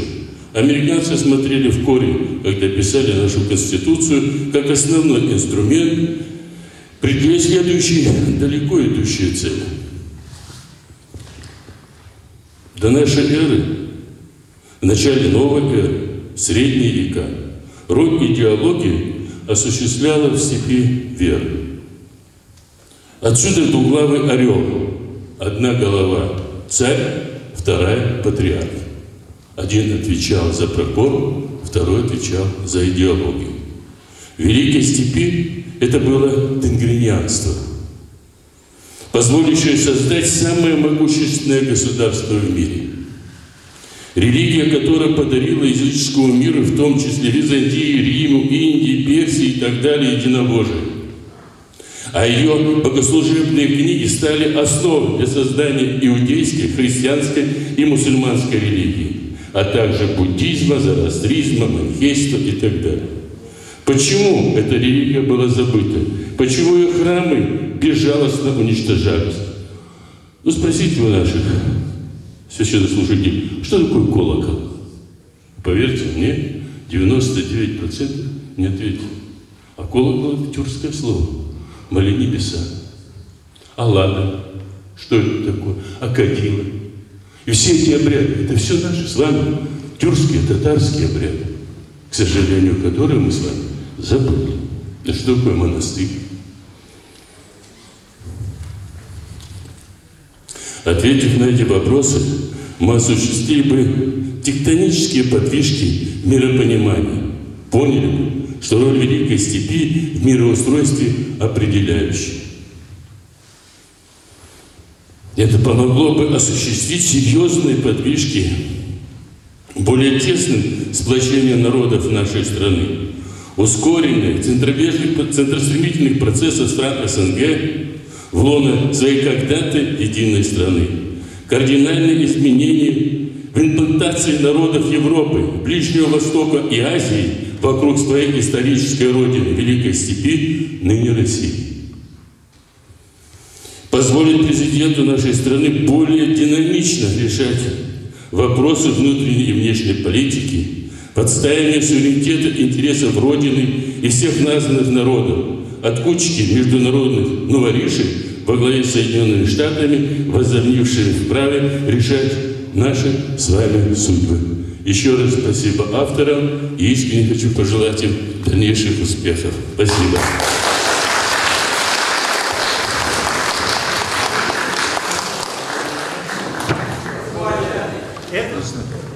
Родился я в Абхазии, в городе Гудауда.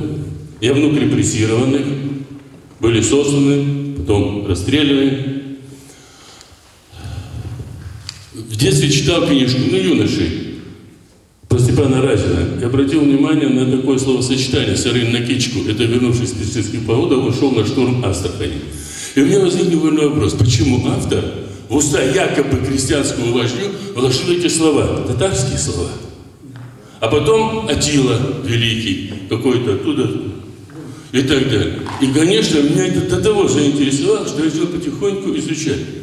Да, изучая официальную историю, которая была написана внуком шотландских королей, иезуитом Брюсом, благодаря которой пошла наша официальная история. Предприняли все для того, чтобы мы забыли, кто мы, откуда мы, и чтобы не понимали, куда мы. Закончил Ростовский госуниверситет, работал следователем, старшим следователем. Потом был одним из руководителей ОВД Ростовского облсполкома, поэтому приехал, переехал в Москву, был назначен начальником главка розыска России, потом первый заместитель министра внутренних дел России, потом заместитель генерального прокурора России, потом заместителем министра юстиции России, потом ушел в Думу, но все это время продолжал изучать историю. Я, конечно, совершенно не историк, я в этих вопросах дилетант, но на некоторые вопросы я, конечно, мог бы ответить. Вот говорят русский, а поверьте мне, 90% не знают, откуда пошло это название. И никто не вспомнит, что Великая Атила вместе со своим братом Бредой привели Скандинаву Орду с царскими кровями. У них был символом сокол. И когда жители Шуи, то есть, извините, Великого Новгорода, обратились к ним и сказали, послушайте, цари, дома же бардак, приходите. И они пришли, им же переводчик толмачить нужен был. Они говорили на одном языке. А дал великий исследователь, лет 10 тому назад, приехал в Азов и проведя там раскопки, потом поехал в Азербайджан. И там, проведя раскопки, схватился за голову и сказал, боже мой, как стыдно. Я на склоне лет только понял, откуда пришел мой народ. Вот если коротко, извините за то, что злоупотребил ваше внимание. Можно еще один, еще один вопрос вам, маленький. Да. Вот Куликовская битва. У нас принято, значит, вот, э, государство законом принято. Что такое Куликовская битва? Ведь это же тоже обман настоящий, понимаете? Как он сформулирован в федеральном законе. Можем мы это изменить или нет, с вашей помощью? Я вам скажу так. Я обратился к президенту Татарстана, бывшему Митиру Шамиеву. И об этом в одной из ваших газет было опубликовано. Я ему сказал, Митир Шамиевич, ну давайте заявим, что не было Куликовской битвы. Совершенно. Он там на кулишках, они сейчас там лежат, эти ребята. Вот пойдемте сейчас раскопаем и увидим, вот они лежат. Потом я подошел к бывшему президенту Башкортостана. Он тоже вместе со своей свитой. Я говорю, ну а ты почему не скажешь? Они пообещали, один и второй, но ничего не сделали. Я поехал к вам в Казань. Раз приехал, второй раз поехал, ваш, посетил ваш краеведческий музей. Этот музей должен ответить на вопрос, откуда мы, кто мы и куда мы. Так он не отвечает ни один из этих вопросов. Те же самые экспонаты в Кремле, в Татарстане. Да поезжайте по всей стране. Ведь не, не, посмотрите, какие там культы. Ивановская, Владимирская, Петровская, Сидоровская там и так далее. А на самом деле это одна культура великого тюркского мира. Ну возьмите вместе, проведите эти. Нет. Я вот в Крым поехал, пришел в Бахчисарай, увидел там мечеть. А я спрашиваю, а до мечети что здесь было? А был храм какой-то ингриянский. И баптистерий сохранился. Поезжайте в Дербент. Дербенте баптистерий сохранился, где тюрки крестили. А Иван Грозный не был христианином. Ну и масса чего еще. Все это надо поднимать. Поднимать для того, чтобы... Я в ноябре прошлого года на международной конференции в Академии наук я признал объединитель сельский мир вокруг своей Родины. Это один из каганатов, в том числе и э, э, турок. А кто такие сербы? А хорваты? А бургунды? А хорваты? А норвежцы? А исландцы? Столица Австрии, Инсбрук. А кто ее основал? А как переводится слово Альпы? Горы, покрытые лесом. Чьи слово? Это наш Мне говорит, не хотите йогурт? Я говорю, если ты переведешь, что это по-татарски кислое молоко, я тогда, может быть, съем. Я спрашиваю одного большого политика, не буду называть свою фамилию, я говорю, албанцы, кто такие? Он говорит, мусульмане. Я говорю, я не вероисповедание спрашиваю. Я спрашиваю, откуда они свалились э, э, в нашу нынешнюю Европу? Он говорит, я не знаю. Я говорю, как же вы политику проводите? А это наши карачаи. Мой народ. Я последний, я не буду злоупотреблять. Я с министром внутренних дел Японии во Франции встретились. Я спрашиваю, слушай, у тебя на Хоккайдо айны проживают. Что это за народ? Он говорит, вы знаете, господин Колесников, они, по-моему, пришли с берегов Байкала. Я говорю, правильно, тюрки. А вы, японцы, откуда там? Он говорит, вы знаете, вот мы, мы еще не пришли к этому выводу. Я говорю, хотите, я вам подарю одну из версий, по-моему, реально. Он говорит, какую? Я говорю, вы родственники нашего Шойгу. Он говорит, а кто это? Я говорю, вот такой парень пожарами занимается. Так вот, молодые ученые Якутии, я знаком кое с какими работами, они говорят, более 45% слов наших якутских, тюркских, совпадают с японскими. И неспроста туда наши ребята собирались поехать, там, чтобы решить ряд вопросов, но стихийные бедствия мешали и так далее. Поэтому давайте возвращаться к своим корням. Я хотел бы, что, ну, понимаете, великая страна, а у нее, оказывается, своего ничего нет. Кто-то привез письменность, кто-то привез веру, а это все пошло отсюда. Мы дали все это миру. Спасибо еще раз и извините.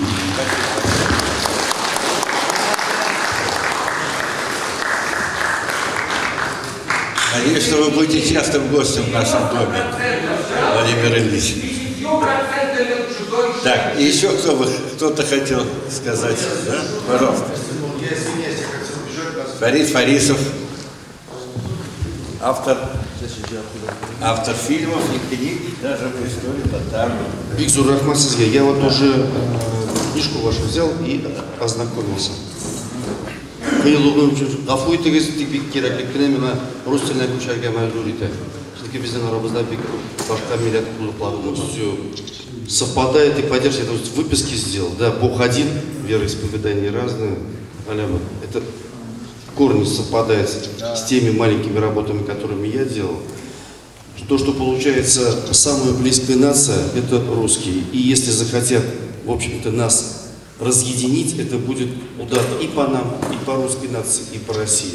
То есть пока мы едины, мы непобедимы. И это должно, э, в общем-то, как бы сказать, осознавать. И только что вот, э, Владимир Ильич правильно сказал, что из истории мы очень много знаем государств, которые имели большую территорию, богатую казну, сильную армию, но они распадались как только у них пропадала идеология.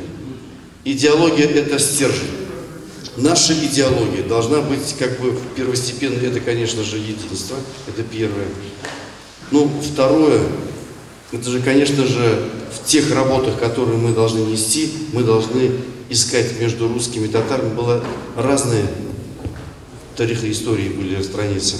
Но мы должны как бы выставлять на показ объединительные факты, потому что именно в единстве наша именно сила.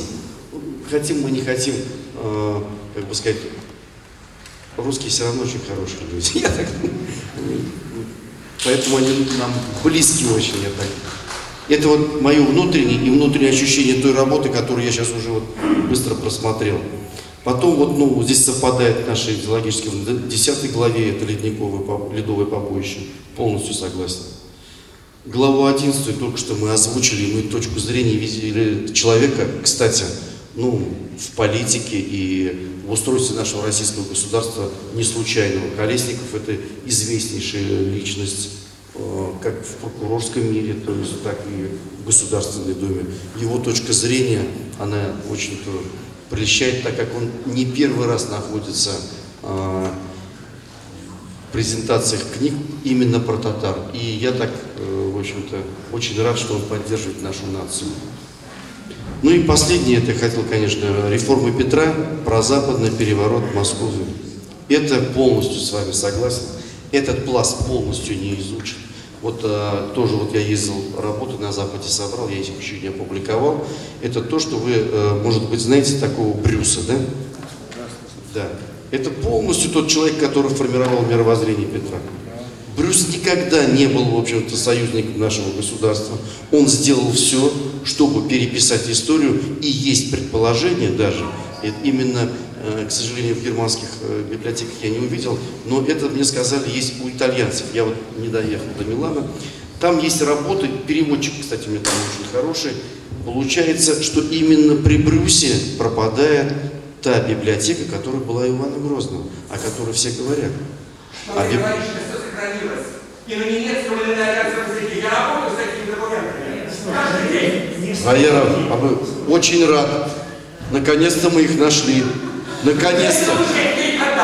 Наконец-то. Все, понял, осознал, раскаиваюсь. Дай мне 5 секунд, я сейчас исправлюсь. Все, спасибо большое. И в связи с тем, там как раз вот есть э, то направление, что именно... А, кстати, я хотел еще э, у окружающих такая новость для меня была потрясающая. Это был такой Ньютон, если вы помните, мы, у нас в истории он остался как, в общем-то, ну, закон Ньютона, это, в общем-то, физика, это математика. Но он, оказывается, был министром финансов. Тоже знали, да? Я, для меня было открытие. И именно Брюс привел Петра Первого к Ньютону. Ньютон его не принимал неделю.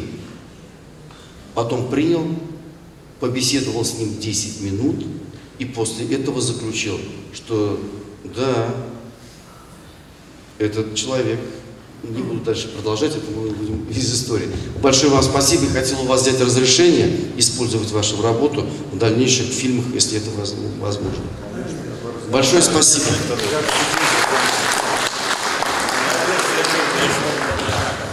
Вопрос? Ну, там молодой человек сейчас пока первый. А, Ахмед Саттар. Давайте, давайте. Да, поближе не слышно. Да, давайте сюда. А, речь шла о булгарских татарах, да?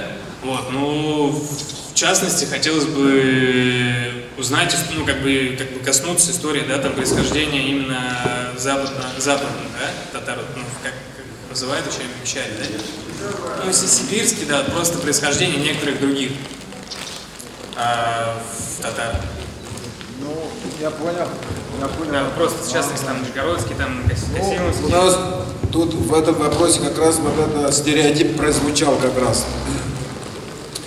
Э, Основной, основ- один из тезисов и целей официальной истории, вот этот прозападной, э, деление татар, одного народа татар на разные, э, делить, посеять между ними вражду, раскол и те- так подавить, подавить и опрокинуть. И э, э, сместить с исторической арены, а потом в последующем и дробить до, до, до конца. И чтобы не было единства между ними, они чтобы не могли согласованно выступить в защиту своих интересов в основном. Но э, происхождение, я говорю вообще о татар. Я говорю, что не булгарские, те, которые сохранили народ татар, звань- название своей эт- этнической татар, они носили ее издревле и будут еще долго сохранять. И э, насчет булгарских татар, э, мишарских, это один народ. Разных татар не бывает. Татары едины, единый народ. А, насчет названия булгар я могу пояснить, что это, э, в общем, игра, история, идеология, как де- деление идет.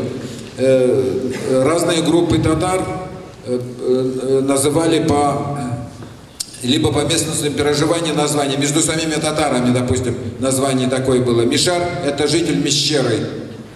Э, Мишарский юрт назывался. Мишарами называли э, тех же ну, угроязычные племена, которые э, обитали, допустим, маджары, их называли. От- оттуда пошло, да. Ну там э, обитали эти э, маджары, вот э, Абуль-Гази о них тоже говорил. А, э, Вот они обитали, вот те мест местности, где мишары эти обитали, вот их называли маджарами, там, где есть маджары, страна маджар. А татары и местность вот это как топоним осталось. Но обитали, но вместе с тем там и татары существовали. Поэтому тот, кто местность называется Мишар, Маджар, и там татары живут. Вот этот, э, допустим, а этот из булгарского ханства Балхар, город Балкар, оттуда ханство Булгар, из Булгара. Сейчас говорят Уфалар. Я, например, среди татар собираемся мы, сибиряки, например, я из Уфы и еще откуда-то, меня называют Уфа, нас двое из Уфы, Уфалар. У татар есть такое, уфалар говорят они, допустим, или фазаннар, фазаннар. Это не говорит о том, что татарский язык, и вот используя вот эту вот игру слов, делит народ по разным уже как бы группам и объявляет их разными нациями. Якобы есть мишары, есть якобы булгары, якобы эти. А Они говорят на одном языке, психология стереотипов у них одинаковый, у них одна вера в основном, у них одни интересы. Теперь интересы, если идеологически их разделить, разные. Поэтому э, народ татар, который проживает и в Сибири, может и в Крыму, и в э, Поволжье, это один народ, эти татары, к- сохранившие. Есть не сохранившие, Вот у нас здесь есть кумыки. Вот они дальше, да, от всех татар. Вот они как связаны татар, кумыки. Конечно, связаны. Они назывались кавказские татары, и от этого не отказывались еще сто лет назад. Татарами они назывались. Мы говорили с ними на одном диалекте. Горьковские татары и кумыки говорят на Мы говорим с ними на одном языке. на одном диалекте. Да, Мы да. Ну, я согласен, что и на одном диалекте. Да, да, да, спасибо большое. Понял. Да. Конечно, конечно, конечно. Я с вами согласен. Будем их изучать. Потому что это чисто ваше. Ему за это платят. Ему платят за это. Я видел теперь. Галина э, ну, вначале такой вопросик. Вот книга Габдулина, наверное, знаете, служил в татар, э, татарском. Погромче, поближе микрофончик. И вы, э, э, ваша фамилия Енитеев, там среди Мурз, значит, вы знаете, да? Вы отношение, наверное, к книге э, к Мурзам, а Енитеев. Имею, имею самое прямое отношение. Прямое отношение. Ну, чем-то, чем-то, можете сказать в словах, э, их заслуга какая-то для татарской нации? Сейчас я передам. Такими словами не, не оперирую. А я могу сказать, что такое бийское сословие в татарском народе было. Э, Это, если на русский язык перевести слово «би», это «князь». Но у татар он немножко другой смысл тоже имеет. «Би» — это от слова или «билятру», допустим, да- «давлеть», «объединять». Или опять же «бей», тоже говорят «бей», это как бы связь, объединение. То есть это э, сословие было в народе, они как бы проверялись, и проверены из рода в род, вот э, э, поколение проверенных людей, которых выдвигали, э, общество выдвигало. У татар была демократия вообще-то. И поэтому вот эти уже сословие, оно называлось Би. Потом во время Золотой Орды еще Мурза появилась, Эмирзата. Эмир это правитель, значит. Эмирзата, от слова Эмирзата, Мурза там по- пошло сокращенно. Это уже как бы то же самое сословие называлось. Я вот хранителя наследия татарской Орды э, статью выступление возил на э, конференция была, научно-практическая конференция э, в э, Казани в 2010 году. Э, Меня туда пригласили как раз э, предводитель татарского вот, дворянства, они себя называют, э, Меджлис татарских мурс, если на татарском языке э, было, а, общество есть такое созданное, а там потомки татарских мурс объединяются. Такие фамилии, как Акчурины, Яникеевы и многие другие, Терегуловы. И Нигматуллин, да, Нигматуллин же он как бы, ну, как фамилия, это Терегулова есть. Вот этот Нигматуллин, если ученого ты имеете в виду. Ну и я там выступал, когда я поехал свою точку зрения там изложил на истории вот этого татарского народа, как раз, что именно это не просто было там знать, которые феодалы, как официальная история говорит, что это было такое, ну, сословие феодалов, они подавляли там вот так, мол, и жили, то есть э, потом уже давили, потом перешли на службу к московскому князю, там, потом начали э, угнетать свой народ и прочее все, и русских угнетали, и татар угнетали, и, и башкир угнетали, ну, и, в общем, с конференции собралась, и вот в, в русле официального э, истории вот этих тезисов официальной истории ругали, ругали Морс. Сначала Усманов выступил, Меркасым Агай э, покойный, он там немножко так пожурил Морс, что они обрусевают и прочее все. Потом после этого я уже начал выступать и дождался. Они знали уже, мне 5 минут оставили выступление, тогда был такой интересный случай. У меня на 20 минут было выступление, очень много было, надо было сказать. В этом храме. Эта статья, кстати, она опубликована в сборнике этой конференции, так и опубликовали. Еще на сайте Татары Евразии подлинная история опубликована эта статья. Желающие могут зайти на сайт Татары Евразии подлинная история. Адрес в этой книге указан вот в издании как раз «Наследие татар». Э, В третьем издании «Наследие татар» адрес на титульном листе указан, адрес этого сайта. Там ребята сделали в интернете, там статьи мои все, и еще другие статьи, других там отзывы.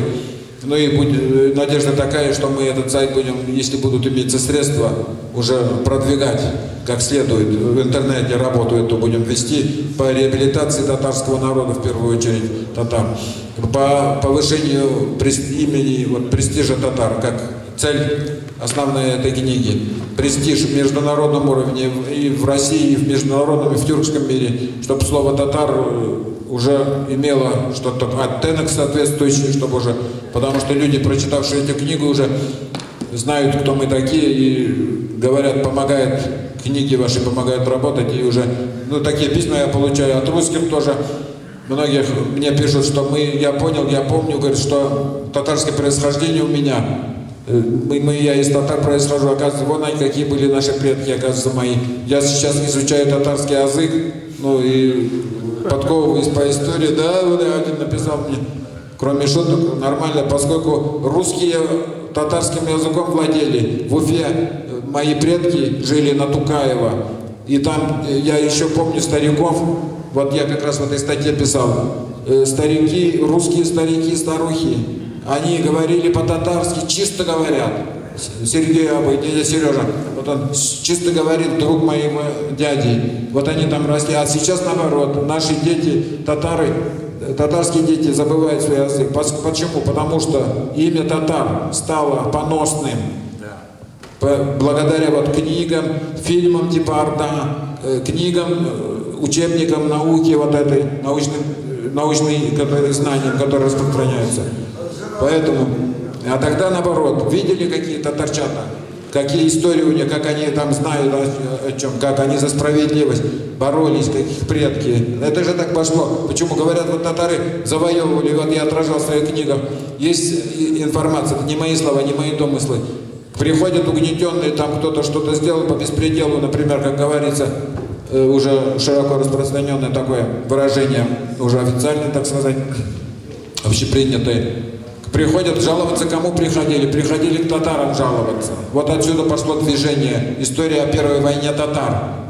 Прямо венгерский миссионер приш- давным-давно говорит, вот пришли, говорит, там э, убили, изнасиловали сестру, убили отца, отняли землю, э, в рабство народ повергли. И этот принц пришел к татарскому хану. И татарский хан решил это дело исправить. Вот, как говорит, первая татарская война, говорит, началась. Вот, пожалуйста, вот так они, э, распространившись по Великому Шелковому пути, собрав, э, создав такой, э, на таких принципах, на справедливых, на человечных государства татары, вот они усиливались, усиливались, усиливались. Вот эти вот войны, вот это движение было и названо монголо-татарское нашествие. Были, может, бои, может, столкновения были. Вот, вот, и вот так все было оболгано. Вот, ну, поэтому э, насчет языка вот так. Спасибо вам Престиж большое. поднимать, за да. Вот ваши Вам спасибо за то, что вы понимаете. э- эти слова. Ирина уже стала признавать, что Куликовская битва-то она неправильно сформулирована, на самом деле, да? Вот, вот наш известный поэт Ахмед Сатар, вот он тоже вот хочет несколько слов сказать. Вот. Альхамдуля потихонечку все у нас есть. И, кстати, со- советую не спешить. У нас до ифтара еще почти час. Вот, поэтому татарам такой регламент нам не нужен, да.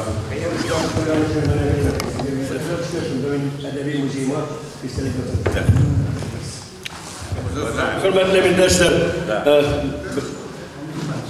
birinci zor rəhmət mənə bu şu ədibkə şimdi in izge in şimdi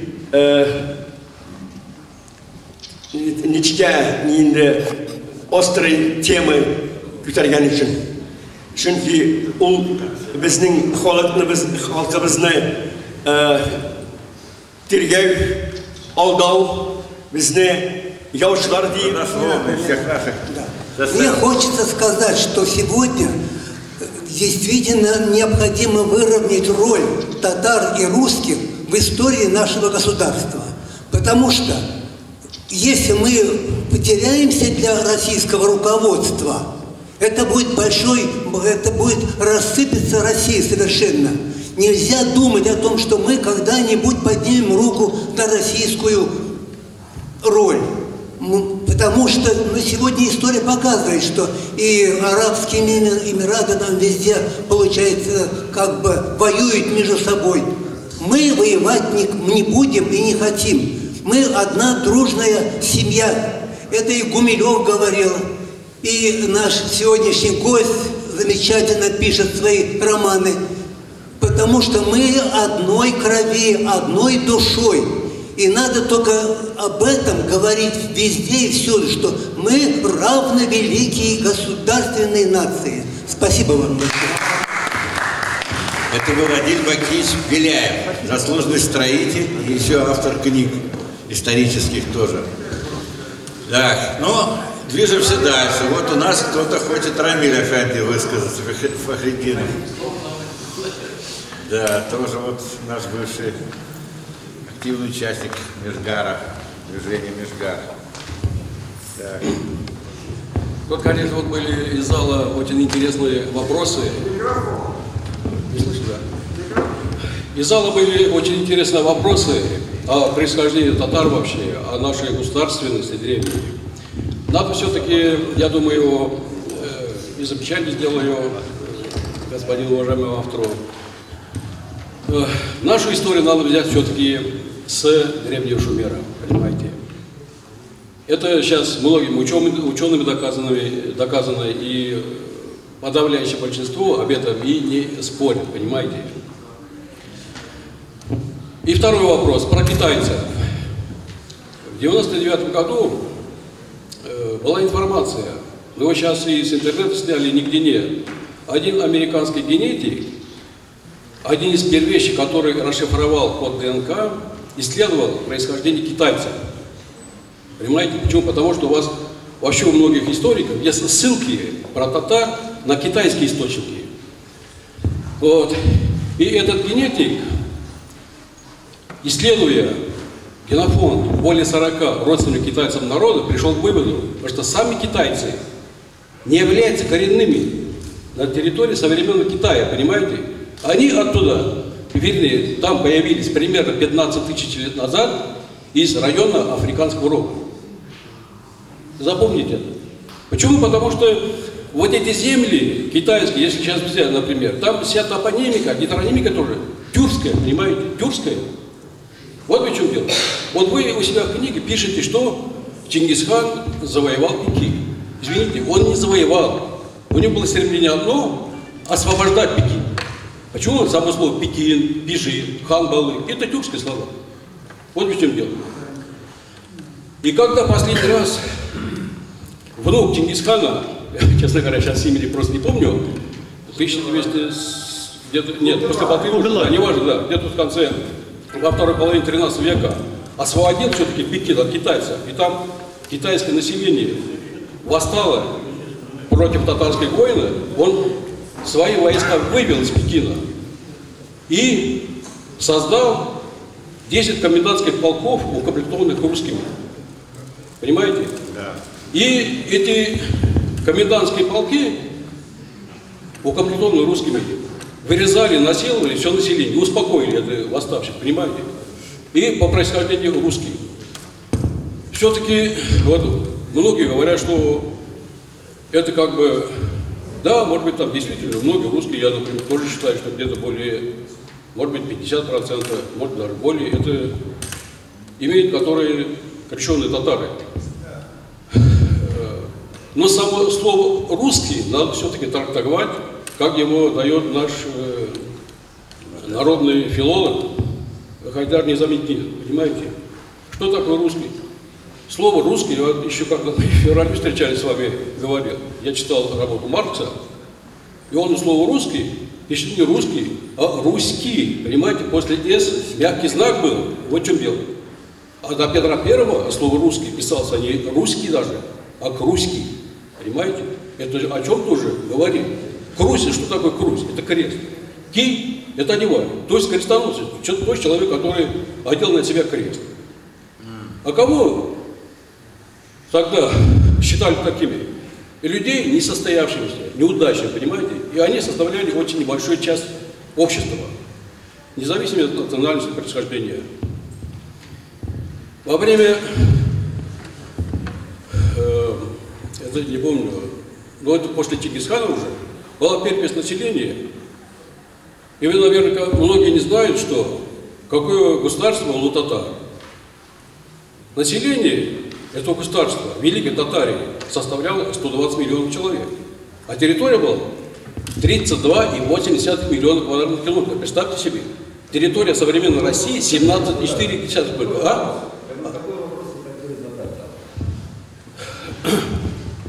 Что, чего хотели?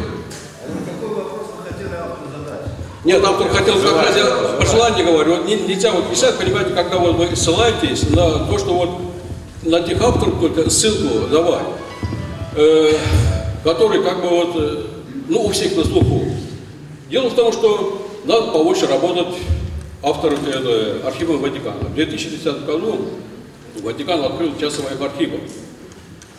И туда слетелись все выдающиеся историки. Через месяц этот архив закрыли. Понимаете, почему? Потому что там всплыли как раз те факты, которые сейчас скрываются от народа. Мало того, там выдающиеся ученые, комиссия из 30 человек, обратился в Евросоюз, чтобы создать комиссию по переписыванию, по изучению, вернее, по фактическому, по, по написанию истинной истории Европы и мира. Вот. Вот по поводу слова русский я сказал, да, понимаете, надо это придерживать. И то, что татаре, про, про слово татар, еще хотел бы сказать. Я читал книгу перевода Вилли Мирзаянова, э, Патрика, да, да, да, да. Паркер, как? Паркер. А, Паркера, Паркера, да, да, да, Паркер. Он нам называет, что татар первый раз упоминается в китайских источниках еще в четвертом тысячелетии до нашей эры. Понимаете? Вот то же самое надо учитывать. То есть это не зря так названо. Это действительно, как э, уважаемый Начо говорит, скорее всего, слово татар это не, не просто этническое, это образ, это управление. Татар это управленец, понимаете? Создатель государственного управления. Вот в чем дело. Ну, в принципе, вот. Да, Рахмет. Но только давайте не будем уни- унизительно говорить о других народах, да, все-таки, значит, это самое. Но я хочу еще заметить, что э, китайцы поют татарские песни, у нас мелодия-то все совпадает, вот на лицо схожесть. Кто у кого научился? Китайцы вот нам признавали, что они как раз переняли у татар пентатоник. Вот. Шамиль, я сами попомню. Так, еще кто хотел бы сказать несколько слов, да? Ну давайте, нас еще, у нас еще есть время. Да. Но прежде всего выступление началось. Выступающего. Исямасыз Самасыз Исхак Давлечин, инженер-физик. Хочу рассказать о великом татарине. Вот его книжка, последняя, которую он дарил на юбилее. Ему исполнилось 75 лет, 17 июня, в Институте океанологии, где Роберт Искандерович Нигматуллин директор, был международный симпозиум, назывался «Многофазные системы, физика, математика, природа, общество, человек, технологии». Он там эту книгу раздавал каждому докладчику. Симпозиум был два дня, 17-18. Книга называется «Четыре нашей жизни. Экология, энергетика, экономика, этнос». Но я хотел бы связать рассказ краткий об этом великом татарине, потому что он великий уфимец, а наш сегодня писатель Галера Шадович, вот он тоже уфимец. И он был, Роберт Искандерович, определенное время президентом Академии наук Республики Башкортостан, а стало быть и членом правительства Республики Башкортостан. Сейчас он с шестого года директор Института кинологии. А все его там любят, уважают. А, кроме того, сначала параллельно закончил он Бауманский университет, а затем еще и Московский университет. И на кафедре волновой газовой динамики был профессор. Потом, когда, так сказать, э, э, ушел уже зав кафедры, он стал теперь заведующим кафедрой волновой газовой динамики э, Московского государственного университета. Это международного такого уровня ученый по механике сплошных сред. Я вот глядя на вас, могу сказать, что это великий физик, великий математик, великий экономист, великий энергетик, великий этнограф и великий эколог. Вот как здесь написано. А история историей, а сейчас э, много великих, и не только в науке, и не только в искусстве, в литературе, в поэзии. Вот Ахмед Сатар, поэт наш, э, выдающийся выступал, видите, как красиво он выступил. Вот. эм, э, Ну вот Махмуд Ахмедович Гариев, если вы заметили, на всех праздниках э, сидит рядом с нашим Владимиром Владимировичем Путиным. Вот. Поэтому я хотел бы на этом закончить о величии наших представителей. А что касается самого понятия татар и понятия тюрков, я хотел бы сказать, что есть статья Бориса Васильева, 89 год, по-моему, июль, газета «Известия», называется «Любить Россию в непогоду». Там он слово «татар» вообще не употребляет, но однажды там он употребляет, по-моему, в трех номерах. Эта статья, вот, она очень примечательная. А, в связи с чем он употребляет однажды в этой огромной статье слово «татары». Никакого татаро-монгольского ига не было. А пишет он там о тюрках. И, например, он пишет, что Александр Невский, а он сейчас, как вы знаете, канонизирован, в ранг святых возведен, был побратимом хана Сартака, тюрка. А там он пишет, что